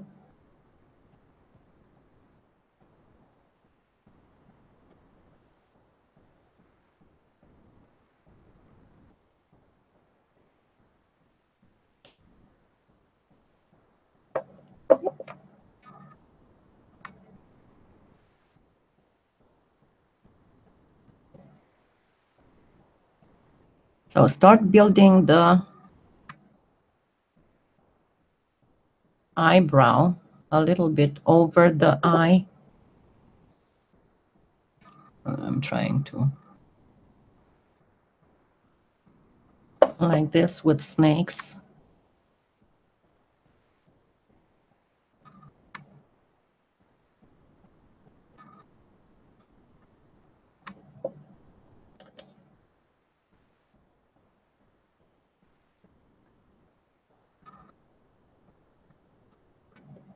And do the same on both sides.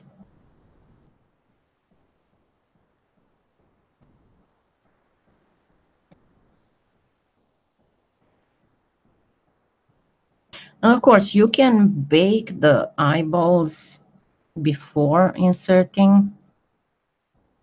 And usually I prefer to do that. But uh,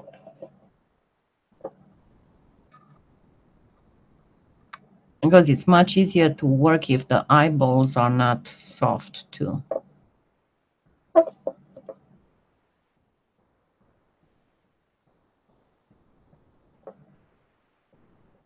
And then we need two small snakes under the eye.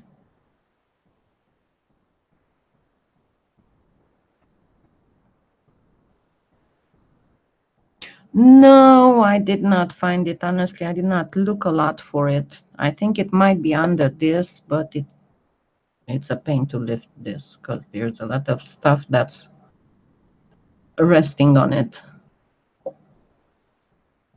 Uh, it usually Sunday afternoon I clean my work table, so I'll probably find it.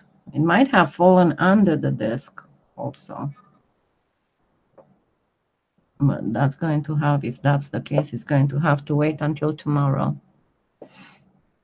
Okay, so this is pretty much how it should look before you start sculpting this area.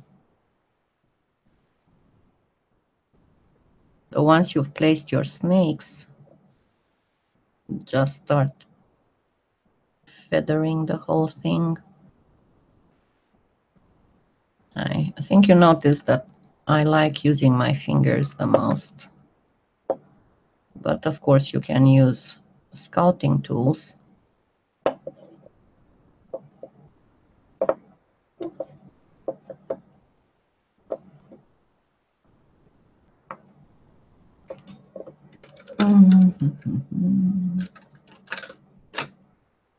Let's try this. It's not my favorite, but some people are able to sculpt with ball styluses. I was never able to do that.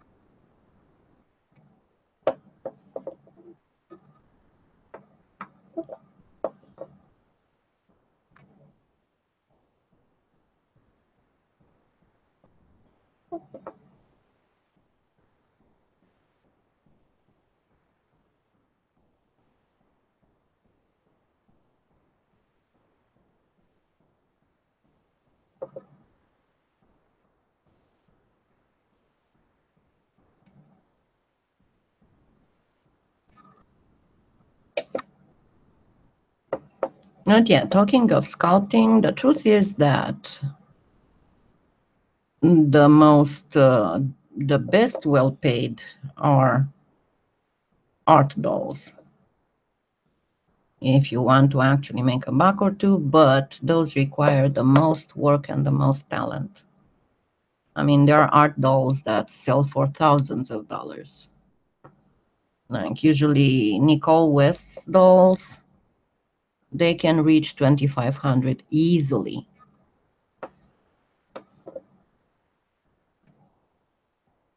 I've seen some of her dolls selling for over $3,000.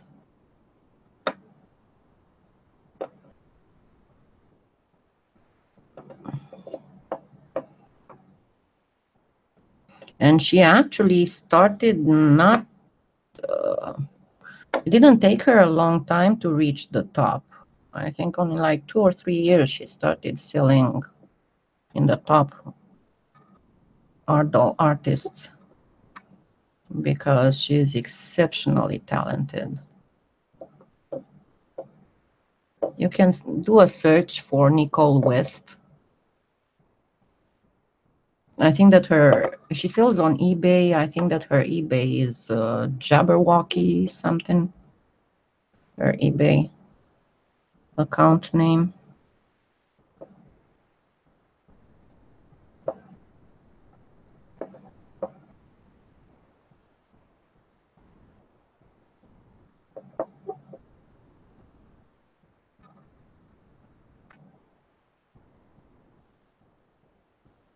Okay, we need to add a little bit more here because we don't want the eyes to look bulging. Yeah, you need to. Her dolls are one of my most favorites of her dolls. There's one she made, I think it was 2013, 12, 13, something like that. It's an ice mermaid. Oh my God, that thing is absolutely out of this world.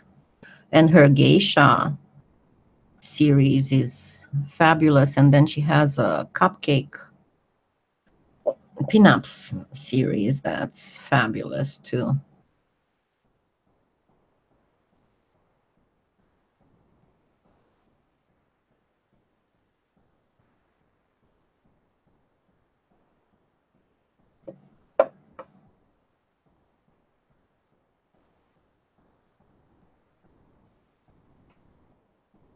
Now the eyes is where you have to be the most careful because that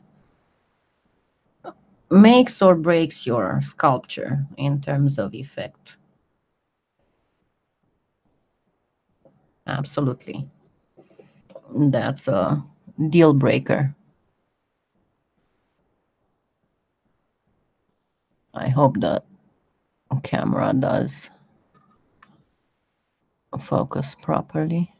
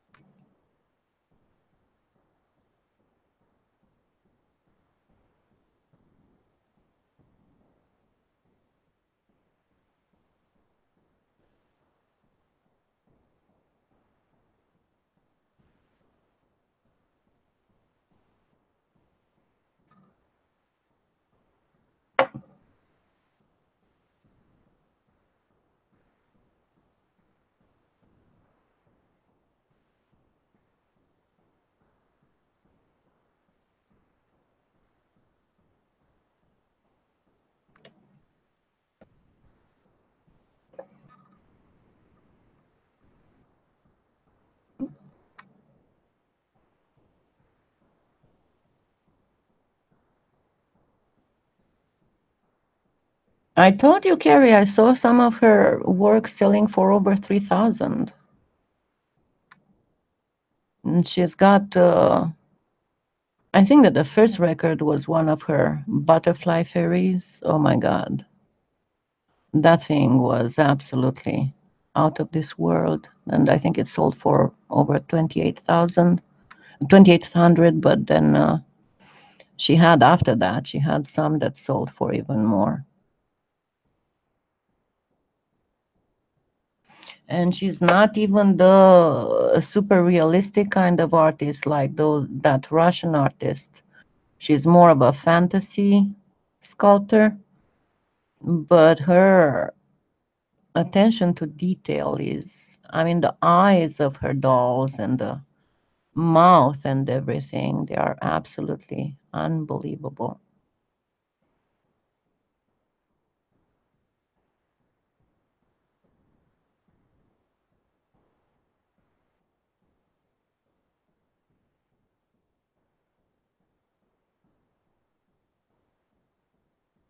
Now all you have to do is to smooth nicely all this area because you don't want it to look like a little plastiline model.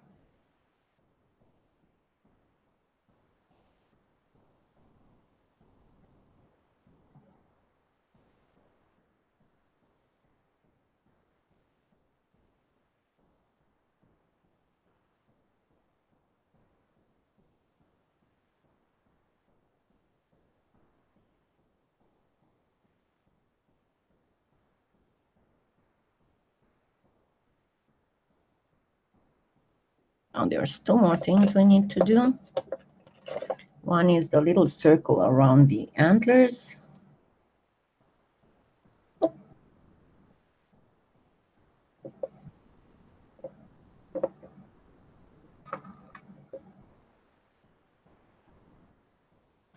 And the other one is the ears.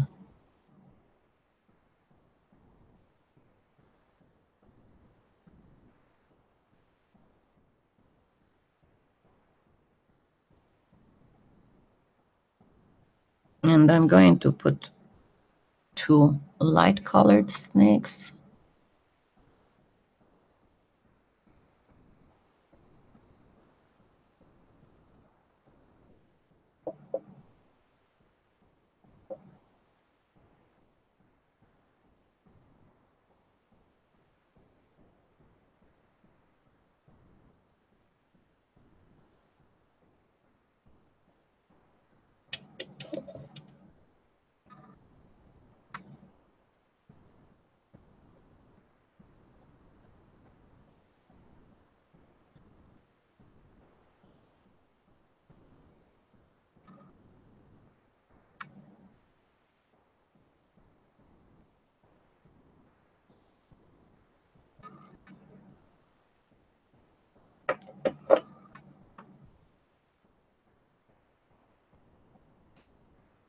Actually, you know what? I'm going to do something here.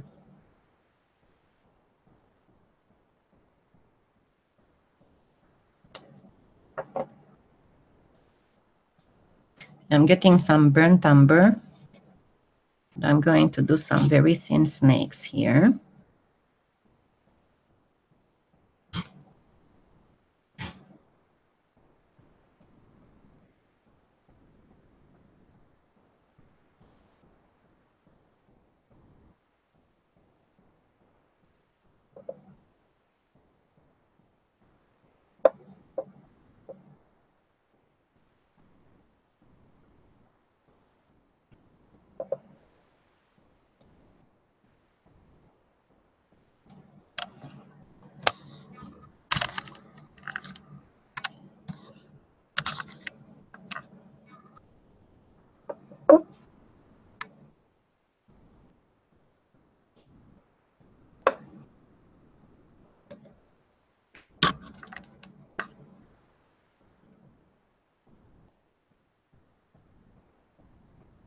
No, I drew the little skeleton when I started.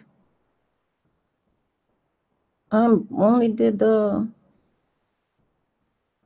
I'll show it to you because it's a lot of stuff on it right now.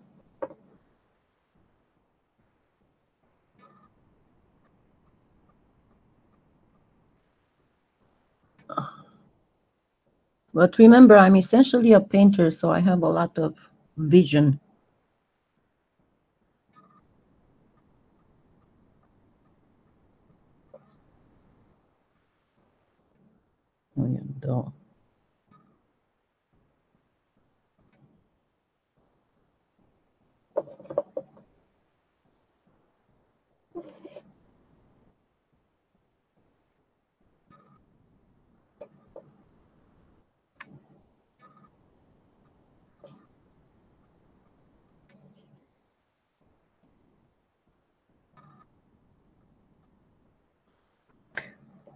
You know what? Wait. Go to bed. Go to bed.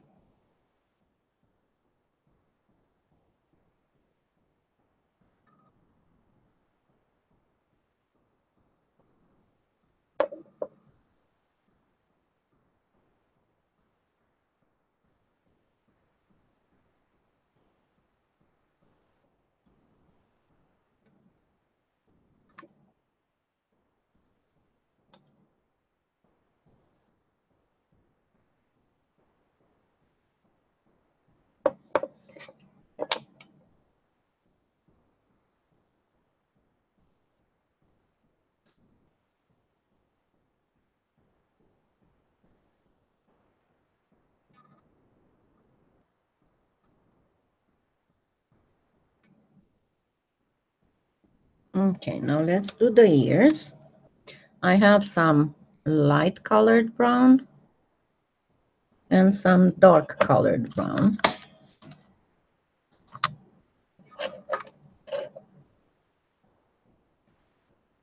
I'm going to place the light on top of the, let me make it in a rectangle.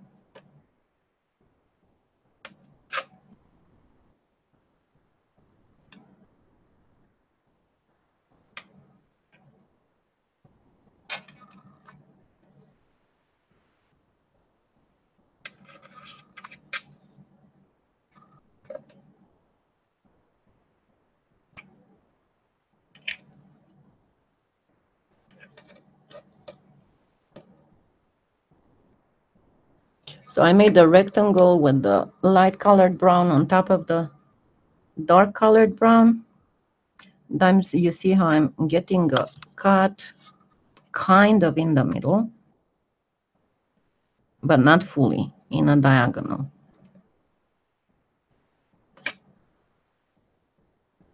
Now pull the darker brown on top of the lighter brown a little bit.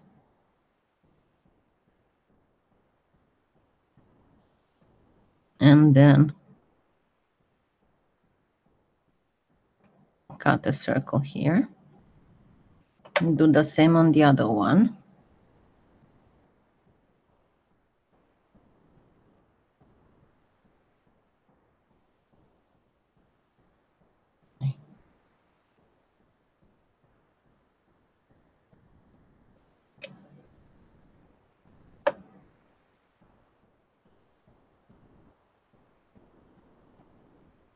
No, the idea here is that we must not make them dog-like.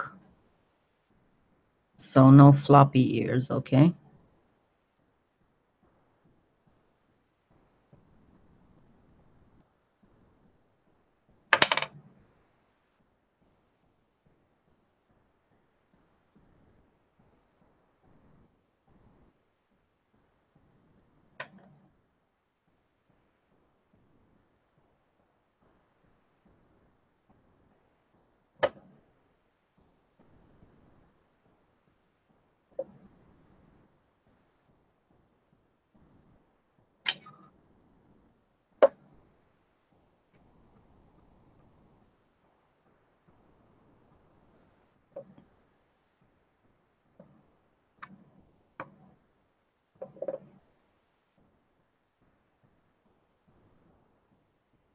I'm gonna need to wipe my fingers. I play too much with clay and I have clay residue and they are sticky. What?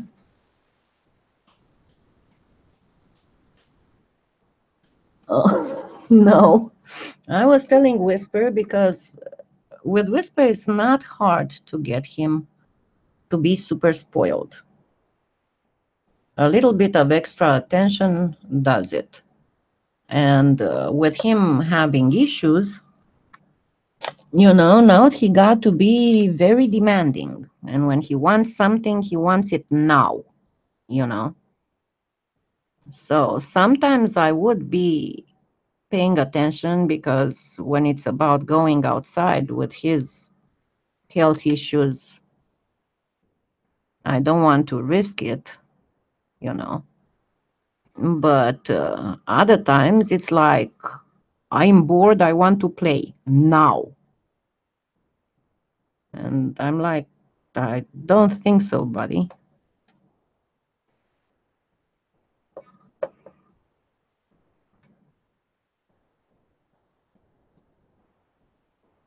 So generally the deer ears are fairly close to the antler and uh,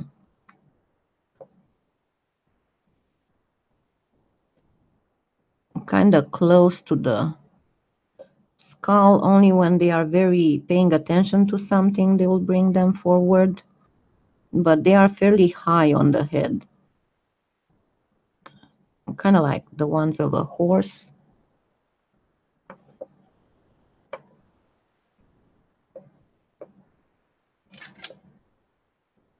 Now there's one more thing we need to do here.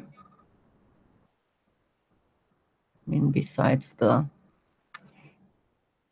I'm going to just do it for now because I need to wrap it up soon. I'm going to start being in a lot of pain. But uh, here you do two nostrils.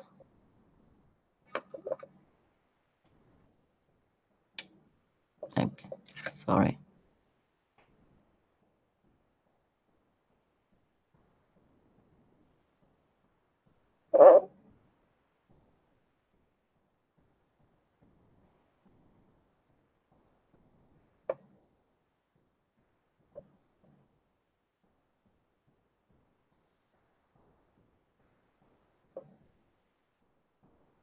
And the deer nose is fairly flat.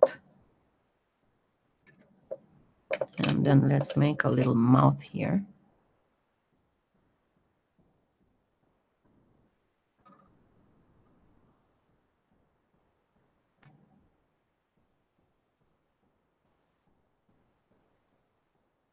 And now we need one more thing. I'll be right back. Mm.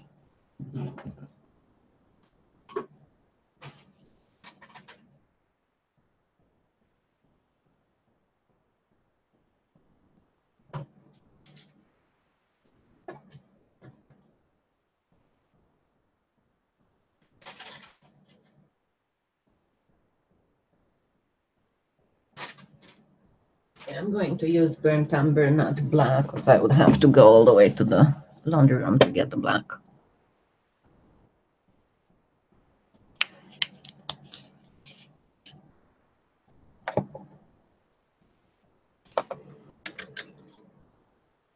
But do this before baking because, I mean, you can do it after baking, of course, but if you do it before baking, it will pretty much uh, cure on the clay.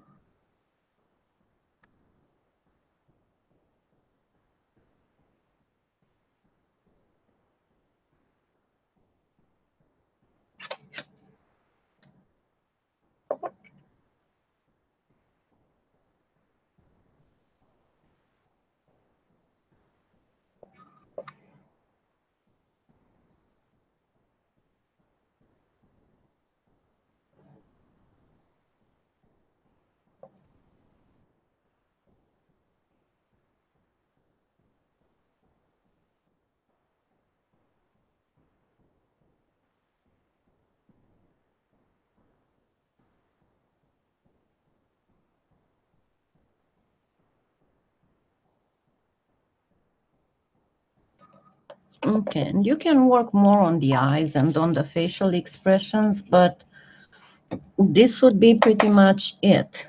Let me get it on the side so you can.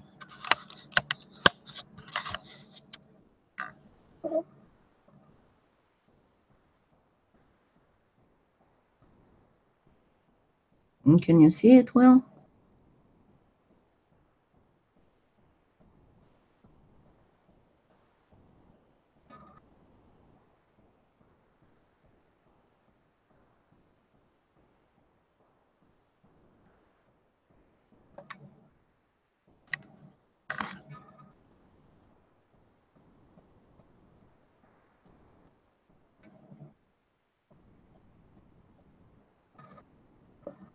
And of course, make sure that the antlers are properly positioned before you bake and everything is nice and smooth.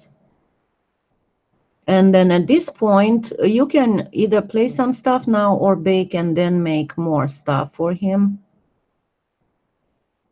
And I would honestly place a little bit more meat here because it looks a little bit like the guy in Ice Age without more, uh, it needs more jaw here under the eyes. But I'm sorry, I just cannot do it anymore. I've been here for two and a half hours and it I start hurting too bad. But I hope that you got the idea of how to make a sculpture. And of course, once it's baked, you just uh, make a hole here and put one of those uh, eye screws that you can hang after it. And you can decorate it with glitter and all kinds of other things. But it's a little, okay, it's a boy deer. Okay. So thank you for being on for the live. And uh, we'll have to think what we want to do for next. The next one is going to be very close to Christmas. And uh, we'll have to see what we are going to do. So, slaps forehead about what?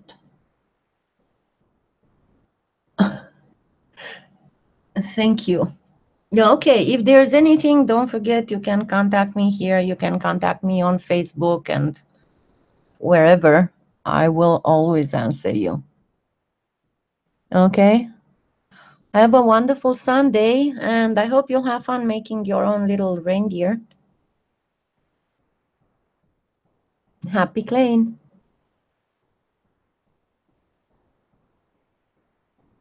Mm, bye.